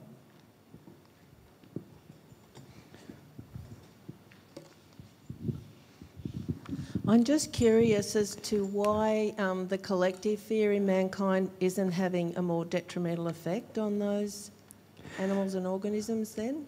The reality is, when there is a uh, particular problem on the earth, what happens is that the, there is an initial reaction of fear collectively of mankind. So, for example, with the Chernobyl for, uh, disaster, there was an initial reaction of fear by every single person who was directly affected by that particular event, right the way through to Sweden, who, who received fallout from the, the Ukraine event in Chernobyl. Now, what happens is once people realise that their, their lives are not going to be negatively affected by the event as much as they expected, everybody forgets the event. And they no longer fear the event. And they exclude the zone, which has been infected, nobody goes in there, but nobody cares about that anymore. And because nobody cares about it anymore, no one's also fearful about it anymore. And because of that, the system is allowed to actually start recovering without human intervention. Hmm. So it's pretty obvious why it's happening the way it's happening there. My, my suggestion is that when you start investigating a lot of these things, you start realizing that the humans in the system are the things that are having the most impact upon the system. We think we're measuring a system that we are not impacting, but we are having the greatest impact even when we measure it. We're having more impact than most other things are on the system. And we need to understand that. And this is where these, we need to have these creatures and plants and organisms. So, this, not just creatures, these are all organisms, including plants and so forth, that are all part of the recovery constituents of the system, working for us right? The only, reason how, the only way they're going to work for us is if we have love for all of them, and also on top of that, if we have this understanding of the soul interconnectivity that we have with all of these creatures. You know, then we'll start having them working for us. Once they're working for us, we can now supply what they need to survive. So, the, the way to recover any system is to focus your attention, firstly, on building survival shelters for these parts of the system. Does that make sense to everyone? So, so, in other words, we're not focused firstly on fixing the soil. We're focused firstly on getting some food to the system that can fix the soil. Some shelter and some water to the system that can fix the soil. That's what we're focused on. We're not focused on fixing the soil because that's a subsequent result of what these particular things will do to the soil. They, they will fix the soil for me if I also work on my own addictions and unloving behaviors. Remember, the unloving behaviors and addictions have the greatest effect on every one of the things in the system. So, so I need to work in harmony with that as well. But uh, if I do that and provide food to these recovery parts to the system, the system will recover itself. And I won't have to work hard doing it. Does that make sense? So you will start to, when you start building these kind of systems, what you find is because you know that it's the cause of the issue, the relationship between your soul, love, and your condition in your soul, love, and these particular elements in the system, you know that when you're helping them survive, you're helping yourself survive. And, and actually, what I've found myself when I start building these systems is, uh, and Mary and I have been doing this well, you've probably noticed it's like a minefield at my house at the moment. And and Mary and I have just been building one system after another system after another system just as fast as we have the time to do it in amongst all the other things that we're doing. And our focus is getting all of these things, all of these things working in the system. That's our focus. So the, the only reason why we've done it is to give these things food, shelter, water. Food, shelter, water. As a result of that, sometimes we come back a few months later and there's all sorts of other living things in the system. There's animals now that we've got in our home in our property that we've never seen before.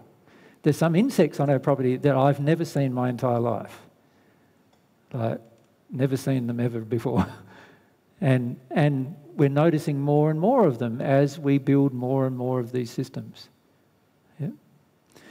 So we need to understand that the constituents of the system, there's the parts of the system that are the recovery parts, and they are the suppliers.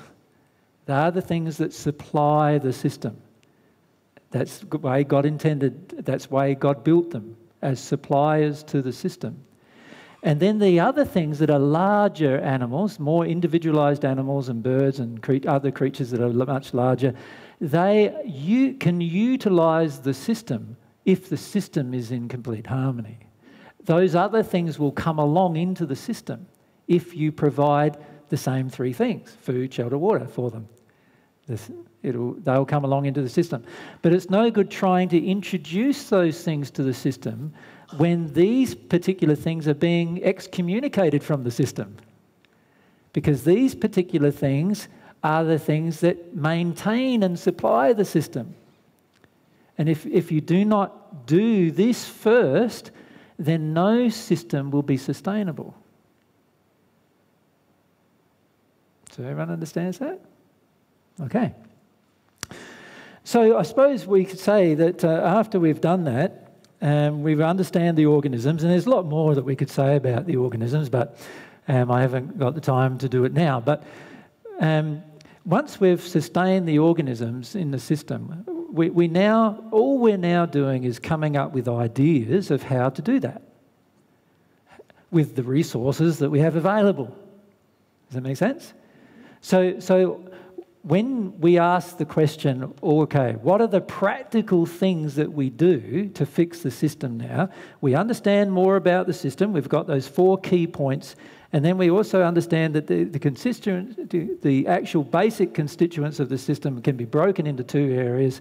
And we understand that the first, our first effort and our first intention must be to supply these parts of the system because they are the suppliers of the rest of the system. Once we've got all that together, now it's just a matter of coming up with some practical things that can do that. Can you see that? And you're just as able to come up with ideas about that as I am, right? You can just experiment and come up with many ideas. I can show you some of the ideas that we've come up with and, and that, can, that, that are working for us. But every single climate, Every single environment is different, and you'll need to create different things.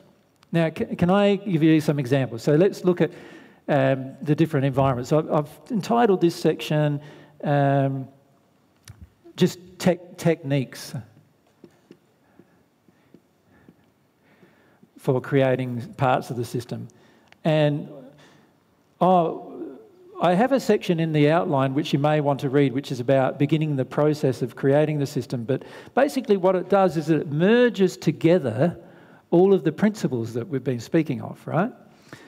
And then we come to what are the basic techniques. Well, imagine you're living in a very cold environment. Now, if you were living in a cold environment, what would you like as a part of your shelter?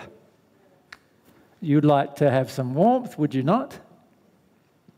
You of course, still want some water, you would still want some food, and you'd still want some shelter, and particularly the shelter would need to be warm. Yes? Okay, so if we were creating a system for a cold climate, can you see that it would be wise as a part of that system to have some kind of composting type of thing going on, which automatically produces heat and therefore produces warmth.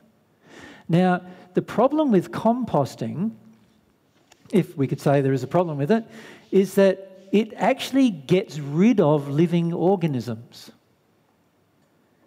I don't know if you know, but uh, when you compost many seeds, they die at a certain temperature, so they don't grow. This is how a lot of people get rid of their weeds, right? They compost it all and, uh, and eventually can reuse it all, but all the seeds have died. Now, we don't want things to die in a system generally.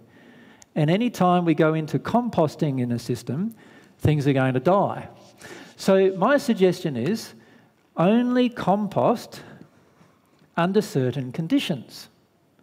One is if you need to generate heat. So, in a cold climate, you need to generate heat. So, you probably need to have some part of the system composting.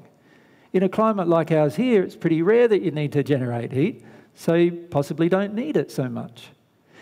There are other times to compost, and that is to get rid of toxic substances and chemicals. The composting process has a lot of bacteria involved in it, and as a result, much of this bacteria has different intelligence that get rid of toxicity. This is why you can go down a dump, and they've often got in their compost when they begin bits of plastic and plastic bags and you know all these different things and then 6 months later you pick up the soil and it's like none of that's there and the reason why is because all of those living creatures that have intelligence destroyed through this process of composting and this build-up of the bacteria and other elements in the compost cause the destruction of those particular things. So whenever there is any toxicity, composting is a great idea. Can you see that? So there's times to do it. The third time to do it, and this time, this one I wouldn't generally suggests, but is if you want to break down large things very quickly. So, in other words, if you have things like large logs or large bits of trees or whatever else that you'd like to see break down very quickly, then. So, if you're looking for, if I put it this way, if you're looking for speed of breakdown. Now, the problem with with it, though, is that a lot of the elements in a composting system get rid of other things.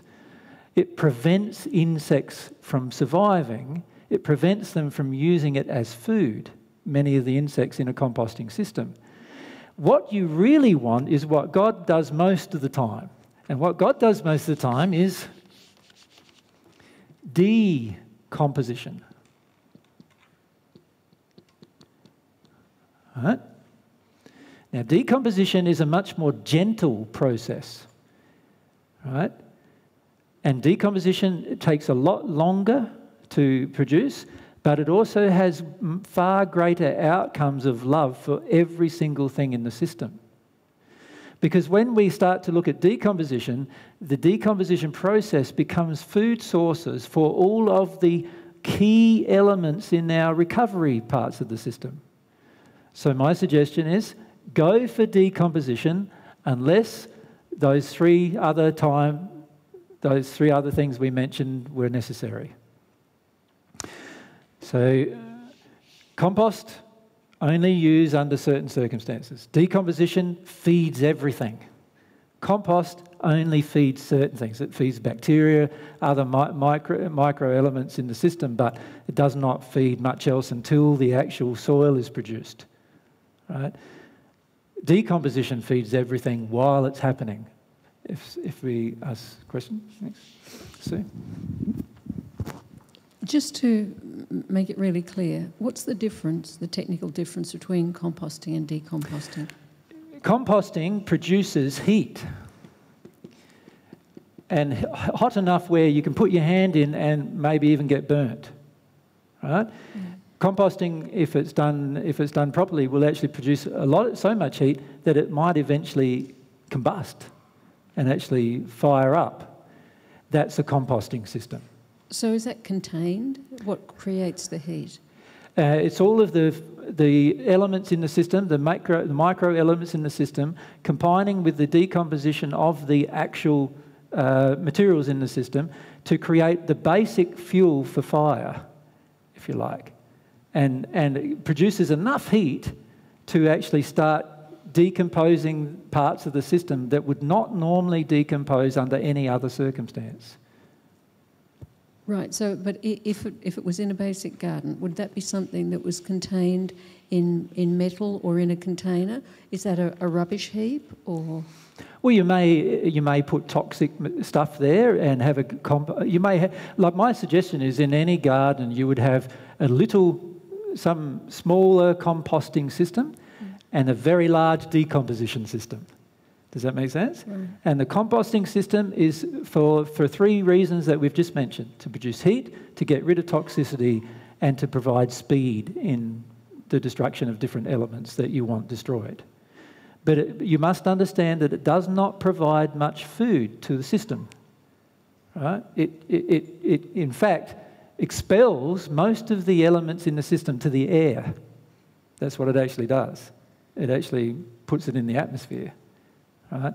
Whereas decomposition is a very slow process that uses lots and lots of different animals and, and when I say living organisms in the system, and those living organisms feed off of the process. So it's much more uh, environmentally friendly from a perspective of creating a system. Does that make sense? Yeah. Yeah. So it, my suggestion is go for decomposition every time unless you have those three problems. You need to generate heat, or you need to get rid of toxicity, or you need some speed for some reason. Right? Then do a something to do with compost. The rest of the time, aim for decomposition, very slow decomposition. Does that make sense? Decomposition feeds your system. Composting does not. Com- combusting combusts your system. Right? So for that reason, it should be used very sparingly in your system. Yep. Does that make sense to everyone? Yep. Chris? What does it look like, a decom- decomposting system? It looks like a forest floor. Right? So if you think about a forest floor, you have a layer, you have the dirt on the ground, and then you have a layer of very small elements, and then you have a layer of bigger chips, wood chips, and then you have big solid blocks of wood often, right? And they're all decomposing at different rates, right? and they all provide food to the system. And eventually you end up with a forest floor where you've got a very spongy, sponge like, very water absorbent material, right? That, that is just like a layer. And as you dig down into it, the, it turns itself into soil, and at the very base of it is some very highly nutrient based soil. So it provides nutrients to the root systems. That's the kind of system you're looking for. Exactly what God does. Right. So it's, it's also a never-ending system that can just keep going. It's a never-ending system. Yep. And once you've once you've got a very good layer, then you could plant anything and it will fall down, and other things will plant and grow, and other things, and it will automatically grow and, and fall down and grow, fall down, just like a forest. And fruit trees will do that, and you know, all the th- things, even vegetables, and all these things will all be a part of the system. We'll all finish I'm up. just curious, will the planet get bigger that way as well? Oh, well, everything decomposes eventually, yeah. so everything gets recycled. Right. Yeah, so our planet is designed to recycle everything. So even the way the plates move, the way the plates are structured, they come, the, the planet recycles matter, takes it to the surface, and then on other places it subducts it below the surface and recycles it, and okay. then brings it back out to the surface again. So everything on the planet is designed to recycle. What about uh, other material that comes in from space? Well, of course, that also gets recycled. So that just adds to the planet? Yeah, it will, but it just recycles. I suppose you could say over millions of years our planet might grow in size. Yeah. Yeah. Except people that go into outer space, that material, like in the spaceship and all that, that gets lost out there. well, at the moment we're sending a bit up, Chris, yeah. but I don't think we're on topic anymore. Okay. um, anyone else has some questions? So, does everyone get the idea of what the difference between those two things are? Yep. Um, other things that uh, you want to do is look at water. Like, obviously, the way water flows is very important to you. You want water to stay alive as much as possible. You don't want it to be stagnant. You want it to flow. So, for example, you often see people in farms, let's say this is a hillside, right?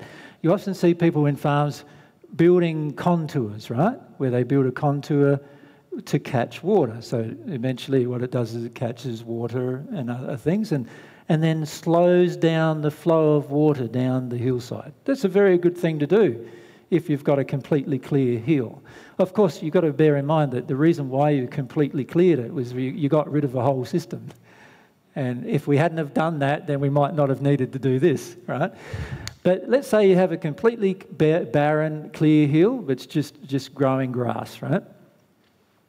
Now, it would make sense that you would want the waters to somehow flow across that system. So rather than making these contours, let's call these contours dead level, what you would do is you would make them so that the water flows down them and then flows back and then down the hill, back and forward down the hill. Does that make sense? So you design them in such a way that one part's a little higher than the other and the, your water will flow in one direction because you don't want any stagnant water. You, you want it to build up, catch the water, stay there where possible, but if it overflows, you want it to just flow a bit. And then you want it to flow back and flow back and flow back. Now, it's very hard to design a contour system in comparison to what people would normally desire doing that because what they normally desire, uh, desire is this. Let's say this is the hill from the front view. They normally create a contour, create a contour, create a contour. Uh, usually it's a level contour or just a bit off level, but it's all going in one direction. And so in the end, you end up with some erosion down the sides of the contours. If you, this way, you have them all equal distance. If you do it the other way, you'd have to do it like this. You'd have to have it sort of Do you see that? Which is a bit harder to do, but it's going to be more beneficial to your land. Yeah. So, another technique to, to look at things is contouring. Right. Another thing that's good to look at is swaling. The swale is just like a, an area that's dug into the ground if you, uh, where it's sort of like an area dug into the ground, like a, it's very hard to draw single dimensionally. Um, um, if you come to my place, you'll see 200 of them. So, um, but they've but they're just, uh, uh, and if you put holes in them, you could actually make the holes the collection points for the water and the food and the shelter. So, so that's one other thing you can do with. So you could do swaling. It depends too on what kind of country you have. For, so, for example, if you have some country that is uh, like a desert um, and it's very, very flat. So, if you had a desert and it was very, very flat and you wanted to green it up and you wanted to do something with it, you're going to have to provide shelter by digging some holes. Right? And you, these holes may have to be quite large if they're going to provide enough shelter to get some matter in to support life. Um, obviously, if you've got some very flat ground and you've got a problem area in the ground that needs a system to fix, you're better off doing the work in the middle of the area and it will just go out from the sides. But if you've got a ground that's on a slope, then you'd be better off starting at the top. Right? Because then all the water from the system and the food from the system and can travel down using gravity. So there's just practical, there's just practical things from now on that you need to look at. So what we're doing in uh, in Summerfest down at Kentucky is that we'll be showing anybody who comes all the different possible systems that you could probably do. And we have a little, we have a, what we're doing is we're scaling it from a very, very small type of backyard type of garden. And then Peter and Eloisa, uh, who own the property down there, have chosen a 200 acre hill that we also need to do some systems on. Does that make sense? So we'll be scaling everything from very, very small backyard type of garden right the way through to creating systems for uh, a very large area, like a couple of hundred acres, that we want to start recovering. What they're also finding down there is they have uh, bare hills going into valleys. The valleys are very marshy and wet, and the hills sometimes get very dry. And when we start to look at looking at fixing up systems, instead of trying to fix up this being wet, we need to find, you can see logically, you need to find out why it's wet, why it's too wet for most things to grow. And why it's too wet is because the water that comes off of this hill comes off of the hill and then collects in the valley. It would make sense that if we could create something on the hill that stops the water from coming to the valley, then the water would be left up at the hill and it would take a lot longer for it to get to the valley. Then there's also recovery plants that are best for water based environments. And then there's recovery plants that are better for drier environments. And we need to know what plants would work best. There's also systems that we can do that would work better for drier environments or wetter environments. For, for example, if you've got a drier environment, digging a hole and filling the hole with matter and covering it with some kind of protection is going to provide a lot of food for a living system. But if you've got a, a wet environment, that will be waterlogged constantly, and like you don't like water in your house too much, most of the living systems don't either. So, in a wetter environment, you'd be better off putting a mound on top of the environment. Can you see that? Just practical things.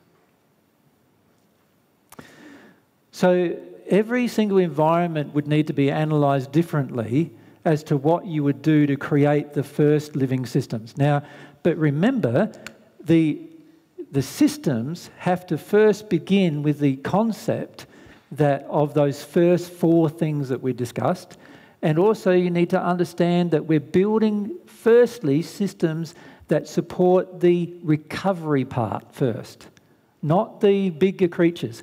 But we can support the bigger creatures in this process by creating larger recovery parts and then smaller parts that will support bigger creatures. So you can do both at the same time, and we'll be illustrating some of that. They'll be down at uh, Summerfest, we'll be doing a little area which will be a reptile uh, system, a system for primarily to support reptiles. Does that make sense? So they've already got a lot of food down there for them. They've already got a lot, uh, a lot of uh, um, reptiles around, but there's no place nearby the homes where they've got anything that supports them. And so we'll be building some of those systems as well. So it should be fun building all these different types of systems. So if we come down here and then across there.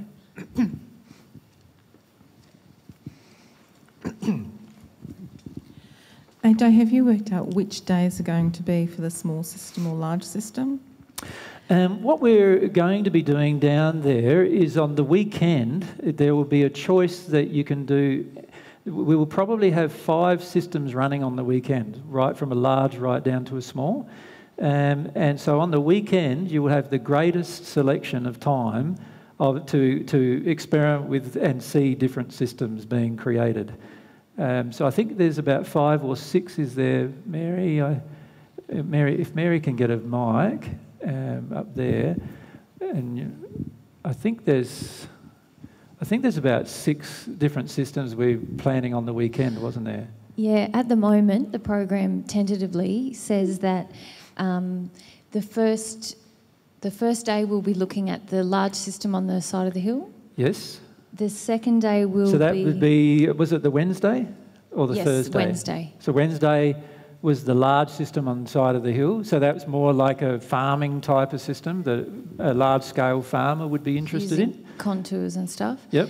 On the Thursday, we'll be looking at um, how to plant trees in a swampy area. So we were looking at recovering the large area that is a part of this large system that's become a bit of a swamp or a marsh. Yep. Uh, the third day, we'll be working, um, tending to things that we did last year. So we'll be recovering some of the. Um, what's happening is that a lot of the things we did last year were incomplete in the sense of there wasn't not, not enough systems in place. And what we're going to be doing on Friday is showing people how to actually get the basic life support into the system. So, you know, uh, for those of you who were down there at Oktoberfest last year, we did a lot of these swales and then we planted trees on the swales. Well, as you can imagine, a lot of the trees, or many of them, some of them, a lot of them have survived, but a lot of them have also died. The reason why is because there is no basic core system in place to support their life, right? So, so what we need to do is add basic core systems to those particular swales. And so we'll be going through showing you some of the techniques to do that in terms of using the resources that are there. So uh, what we're trying to recommend to people is to not get too many resources from everywhere else. If they've got the resources on the property, there's certain resources you can use on your property generally to get yourself started uh, with your systems. Yeah. So On- that's Friday. That's Friday. Saturday and Sunday, at the moment, we're still, they're still, Still not developing, finalised. But we're, But we were thinking of planning, planning, was it five or six? Well, I think four, and then Four, two small. Then on Monday there'll be an additional two. So there were four programs on the weekend about. One is one would be the Home garden. home garden, Another is the um, the reptile the, uh, and other systems at the homestead. yeah. Um, uh, I can't remember them all now. Oh, the nature boxes. Oh yeah, that's right. We're building. There's a the development team and, and the construction team are building a heap of nature boxes that we want to put up put up because they have a lot of food there on, on their property for for systems, but they don't have much shelter, and so for that reason, a lot of the birds and animals can't survive still. And so what we're trying to do is create shelter for, for many of the mammals and, and reptiles and other creatures. Um, so that, that that's part of the And hopefully within that activity, we'd be um, learning about the three, how to position the shelter in relation to the food and the water. Food, water, shelter, So looking yeah. at the whole system, yeah. Yep, yep. Um, I can't remember the fourth one, but on the Monday, I'll tell you the other two was building the greenhouse and regenerating underneath the wool shed where it's been damaged by chemicals. Oh, that's right. There's a toxic area on their property uh, that we want to start experimenting with fixing. Um, so it's a, it's a highly toxic area that's been used for sheep dipping. Uh, for, so you can imagine all the chemicals involved with sheep dip and so forth. And uh, there's actually no grass on the ground or anything in this particular area, which is highly unusual down there. And so what what we want to do is start looking at what we can do to recover that particular area. Um, and that's where we'll be possibly using some of these composting type techniques as well. And that's about it, I think, I isn't think it? that's it. At the moment. By the way, we're going down there tomorrow for a week to plan the weekend. So this is all preliminary information that we've just given you in terms of we, it may be subject to change, all right? Yep. So a lot of these techniques, uh, even in the gardens and stuff, even in the home garden, we're, we're doing. Um, so you know how I was saying digging a hole and putting matter in it to create a system? There's parts of the garden, the home garden, that we'll be doing that in. Other parts of the home garden, they need a bit of heat down there because you know they, they want to lengthen the growing cycle. It gets quite cold in winter and they want to lengthen the growing cycle in the, in the backyard veggie. So, so we will also be creating composting mounds to generate heat in those areas. So there's all sorts of things that will be going on in, in, the, uh, in the process of trying to illustrate some of these techniques. Um, just coming back to techniques. Yep. You were talking before about water needs to flow, but what about the ecosystem for ponds, for frogs, and so on? Could you talk about that, please? Sure, sure. Um, with with ponds and stuff like that, obviously it's still important that the water start is flowing, right? So, but but if you find a place where the water has a natural, there's a natural gradient, then it would make sense to build systems for water-based creatures in some of those areas, and that can often just involve digging a hole. To to be honest, that will eventually overflow. And you can usually put things in that hole, and, and if you create holes of different depths, different things will actually grow in them. And then in the holes that are the deepest, the least amount of plant material will grow. If this was all watered, imagine. So if that was all watered, plants would grow there, water-based plants would grow there, water-based plants would grow there. No, not many water-based plants will grow there, but that's where a lot of the food and other things might be from all of these systems providing food for living creatures in the water-based system. So my suggestion is again experiment with some water-based systems at, at, at, in your home, but understand that it still requires the three basic elements. They need shelter, and they need food as well as the water. So, are those three levels absolutely necessary? For instance, I've just acquired a bath, and I was going to make some sort of pond area. So, really, is that not in well, you, line you, with you want the water to flow, ideally, you know. Of course, there are, if, if the water isn't flowing, there are certain plants that will clean up the water and, and actually cycle the, recycle the water anyway. So you don't need it to flow. The reality is that uh, there are lots of plants that can fix water without the water flowing. But obviously, a bath is not touching the soil. It's not, uh, you know, it's a, it's a mechanical device that's been made. Um, so, so you need to plan around that. And so you want to make it more natural, if possible, um, as it would be normally. But I guess you could probably put three levels within the bath Or you could put the bath as the last As- level. as the last just- level. Yes. yeah. Okay. You could do all sorts of things. It's all the beauty of all of this is that it's all about having fun, right? It's all about your creativity.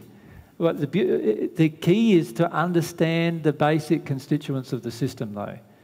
Do, do you get that? So, so when you understand the basic constituents of the system, you, can design millions of experiments and they'll all possibly work. Right? It just depends on your creativity after that, and that's what so well, that's what myself and Mary find so much fun about the whole thing is you, you can do so many different things with it, um, but but if you understand, you need to create the recovery systems first. See, most of us don't do that.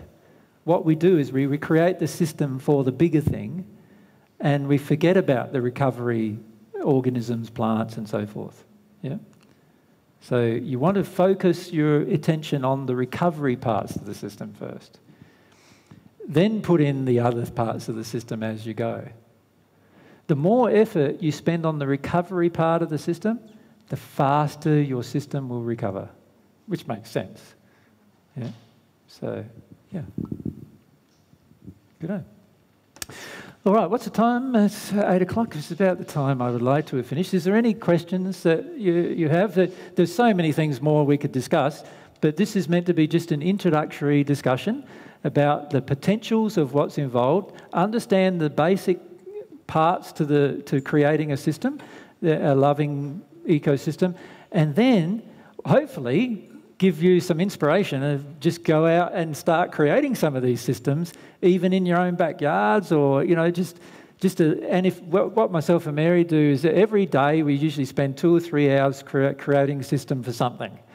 Uh, and usually it's the recovery systems that we're focused on at the moment. Our soil is very bad, as most of you probably be aware. We have, um, you know, it's been treated with goat and cattle and all everything else, and so uh, we've had a high amount of erosion on our property, so we're focusing primarily on the recovery parts to our systems at the moment. And, um, and as we do that, we're just really enjoying that process, uh, Mary and myself. And my suggestion is you can do that on a small scale, large scale, and, and even if you could just do one, it's better than having none at all. So even if you just do one recovery system, in, in, your in your yard or in your backyard. If if, you, if your yard's rented, doesn't matter. You know, just you can recover any part of of a system. And uh, my suggestion is just to experiment with it, have some fun with it as well. You know, learn as you go in terms of what works and what does not work. But remember, um, and I think uh, what we're doing is uh, Igor is putting together for us a two hour presentation, which is snippets of this talk along with uh, what myself and Igor and Lena uh, have done, is we've walked over lots of different some different properties and shown different systems and what works and what doesn't work. So we're taking pictures of all of that, some photographs and, and some videos. And uh, what we're hoping to do is edit all of that down to a to a presentation which breaks it down into the four or five or six main elements and presents that at 15 or 20 minute intervals and that way you can watch that on YouTube um, and get, get some ideas through that. Um, there's lots of things we'd like to show you, obviously, in practice, but you know, uh, the best way to do that is probably via this video process, and, and, and that's what we're hoping to do. We're hoping to have that video complete by uh, probably Friday next week, um, and then we'll lo- upload it onto the God's Way of Love YouTube channel. The uh, uh, it's called God's Way of Love channel on YouTube, and uh, and there's a link to it on the Divine Truth website to that channel under the What's New page. And what we'd like uh, to do is that anybody who comes down to Summerfest to watch those videos so that you get an idea of what kinds of things you'll be doing if you come to Summerfest. Does that make sense? Yeah. So it should be fun. we we've invited lots of people from the community down there to Summerfest. So there'll be a lot of people you possibly don't know who will be there. Um, there's people from the Land Care organisation that might be coming as well. So there'll be quite a, a, large variety of different types of people at Summerfest this time. So it should be quite interesting and uh, many of them are coming just for certain days, you know, the days that they're interested in specifically. So, we're, what we're hoping to do with these videos is to provide everybody with a bit of education um, before they arrive, and that way we don't have to spend any time educating you while you're there. We can just spend time doing. Doing, doing the job. The, the, the best thing to do is to do the job so that you get the feel of it and what's involved with it and also can feel some feelings of love and care for these recovery parts to the systems. So that's what our aim is this time. So it should be quite interesting. We're looking forward to it, and uh, and we hope to see as many of you would like to come down there. It's uh, I think we've given. We'll try and give the rest of the information on the website once it's uh, once we have it ourselves, which probably be next week, Wednesday-ish or something like that. I'll probably get it up to the website. Yeah. Are there any questions about that that you'd like to ask? If we go down to Chris and then across there. A little bit off topic. Um, no, I don't want to answer anything off topic, Chris. Okay, sorry. Is it? Um, what's it about? I just want to know if we're going to see giant birds on the planet one day. that is very off topic. Yeah.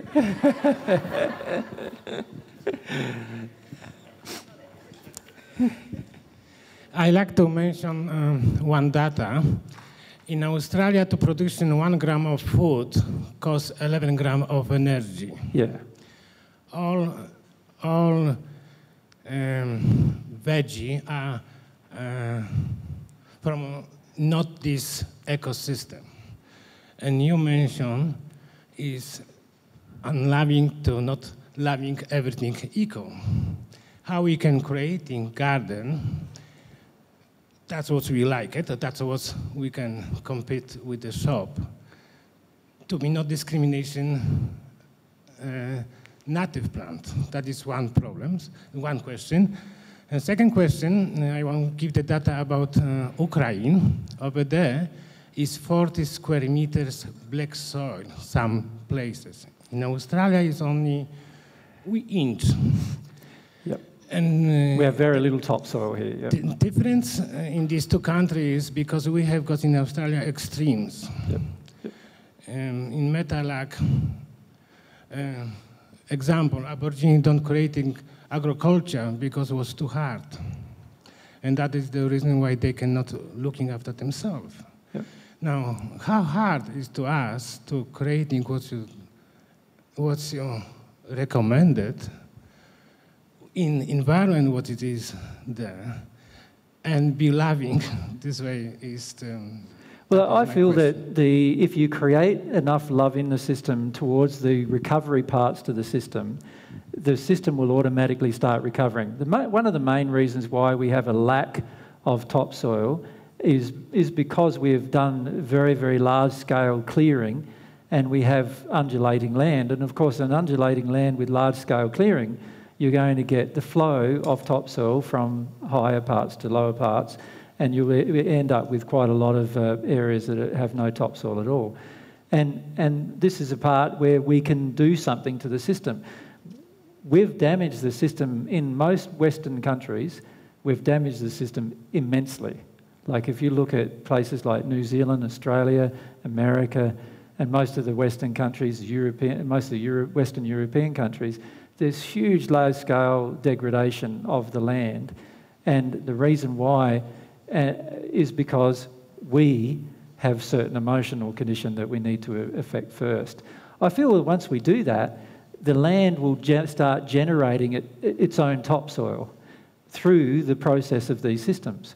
The breakdown of the systems will more rapidly be produced and as the breakdown of the systems more rapidly occurs, because we've got large scale armies of living creatures working for the, for the land now, not against it, now we have the ability to produce large amounts of topsoil in very short periods of time, I believe. But again, we need to experiment with those techniques rather than doing what we currently do. What we currently do, I feel, is very unloving to the system what we do is we look at, for example, most people who look at Australia look at it as a very harsh environment. The reality is, Australia is a very uh, lush environment for certain types of systems, but only for certain types of systems. And, uh, and if we worked with these systems rather than against them, we would find there would be a huge abundance of life, and therefore also for ourselves, a huge abundance of support. So I just feel that many of us have, in this country, have come from Western European nations, uh, historically. And in the process of coming from those nations, we have, in, we have brought to Australia exactly the same techniques as we would potentially use there.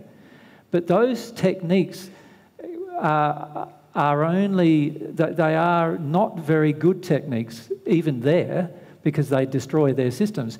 But, but because there's more water in the systems in the Western European countries, and there's also more ground cover than there is here generally, and there's less heat than there is here, the, the, there is less sensitivity to a damaged system. So, so in Western European countries, we can damage the system quite, quite a lot without it, without it going into complete degradation.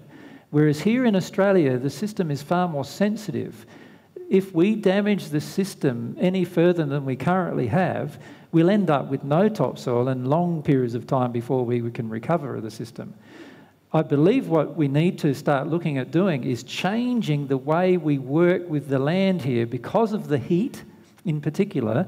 We need to change the way we work with the land. We can't use the same techniques that we would potentially use in systems in Western Europe.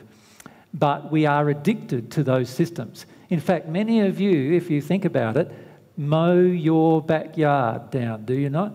Like you think about the average person here in Queensland, their backyard grass gets this high, what do they do? It's a fire hazard, mow it down. What I would suggest is they allow it to grow to seed, let it seed, then mow it down. Right? Because that will create more abundance in the system. But what we're doing is we're using the same techniques that they're using in Western Europe in our own backyards. We can't expect this system here to respond in the same manner because it is much more sensitive to degradation than systems in Western Europe. And this is why systems in Western Europe have degraded still over many thousands of years, but, uh, but the people from Western Europe can come to Australia and degrade the entire system within 100 years because, the, because this system is far more sensitive to poor techniques than the system in Western Europe. So, so my suggestion is that we need to stop considering doing things the way that Western Europeans would do it. I don't believe it is even good for Western Europe, by the way, to do those things. But uh, the reality is Australia's system is very sensitive, and if we use the same techniques that they're using in other countries here, as we can see from our own environment already, we have severely destroyed the system uh, in just a few hundred years, 150 years. You just outside this backyard here, um, at the back of this hall, there's that big tree. You've seen the big tree just laying there, the big tree that's standing about this height. You know, it's about so round. um, that was one of the trees that was the average size tree logged in this area 100 years ago. Now, I don't know if you've ever seen a tree that big in this area since then, but I, I haven't ever seen a live one in this area that big uh, that, that is just, stand, just out the back here. And that shows you that mankind came here with the idea of raping the system, putting in a system that's the same as Western Europe, and then we end up with this severely degraded system with nothing being supported life wise, and then we criticise it and we say, oh, yeah, Australia isn't very productive. But 200 years ago, Australia was one of the most diverse places on this planet in terms of life, terms of species of life, in terms of life. One of the most diverse. And yet, in 200 years, we've managed to take that and destroy large parts of the systems where where it's very, very hard now to find a tree where that's that big in Australia that is growing naturally in somebody's backyard or somebody's property. You know, it's usually in a national park now because we've degraded these systems so much. So that's what I would recommend is to re-look at Australia and go, well, we created this harsh environment. If we created it, we can also repair it right? But it's going to require that we adjust the, our thinking if we're going to repair it. We need to adjust our thinking. So, so that's what I feel needs to happen, and, and I believe that uh, many of you are keen on seeing that happen as well. So um, I also feel, by the way, these same techniques do not work in any place of the earth. Uh, you know, like I've mentioned earlier, we were just in Brazil, and and it's the same Western European type technique that's being used there for beef production, and it's having the same level of destruction that we've had here in a very rapid way. There's literally thousands of kilometres that you can fly over in Brazil that now look to be like our backyards here, you know. Um, they're not rainforest anymore, and, uh, and yet it's still a tropical environment. And so you can see that these Western European techniques, while Western Europe has coped with them because of the uh, level of rainfall, the good amount of decent soil that's on the ground, plus the great amount of ground cover that's generally retained there. Um, these kind of systems are not going to work anywhere else in the world, and I don't even believe they really work in those heavy rainfall, highly productive areas of Western Europe. I feel that if we change our systems, uh, every single place on the planet will have higher productivity and also be able to support a much greater diversity of life. So that's what we're, you know, attempting to illustrate through these principles. Anyway, um, I think that's the end for me. Um, hopefully, thanks. Thanks.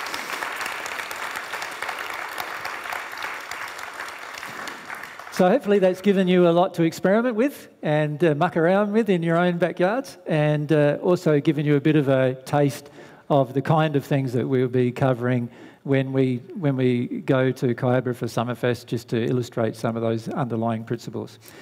But uh, I've enjoyed speaking about this issue because, as Mary knows, it's a, one of my favourite subjects about the environment and, and how to actually recover the environment and understanding everything in the system.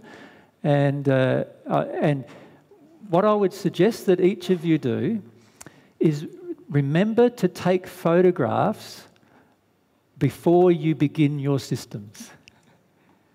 Take some photos of what it's like before you start because they come in handy later on. we, we, haven't hardly taken any photos at all, and uh, you know I'm just going by memory about what used to be there, and and so I'm regretting a bit the fact that we haven't taken as many photographs as we could have um, before we began our systems. But um, my suggestion is take some photos, keep them as your before shots, and then also do some experiments, you know, and, and photograph how the experiments are going after one year or after six months after one year or whatever, and, and just try these different experiments in, in a whole diverse range of areas. And hopefully, when we do Summerfest, many of you will get some ideas as well that you want to engage yourselves. And I think you'll find that you'll be able to put it into practice in a lot of different areas in your in your day to day life. I feel so that should be fun. I, I feel that would be fun for uh, we're certainly, myself and Mary are certainly enjoying that process. But thanks for your time again today, guys, and we'll.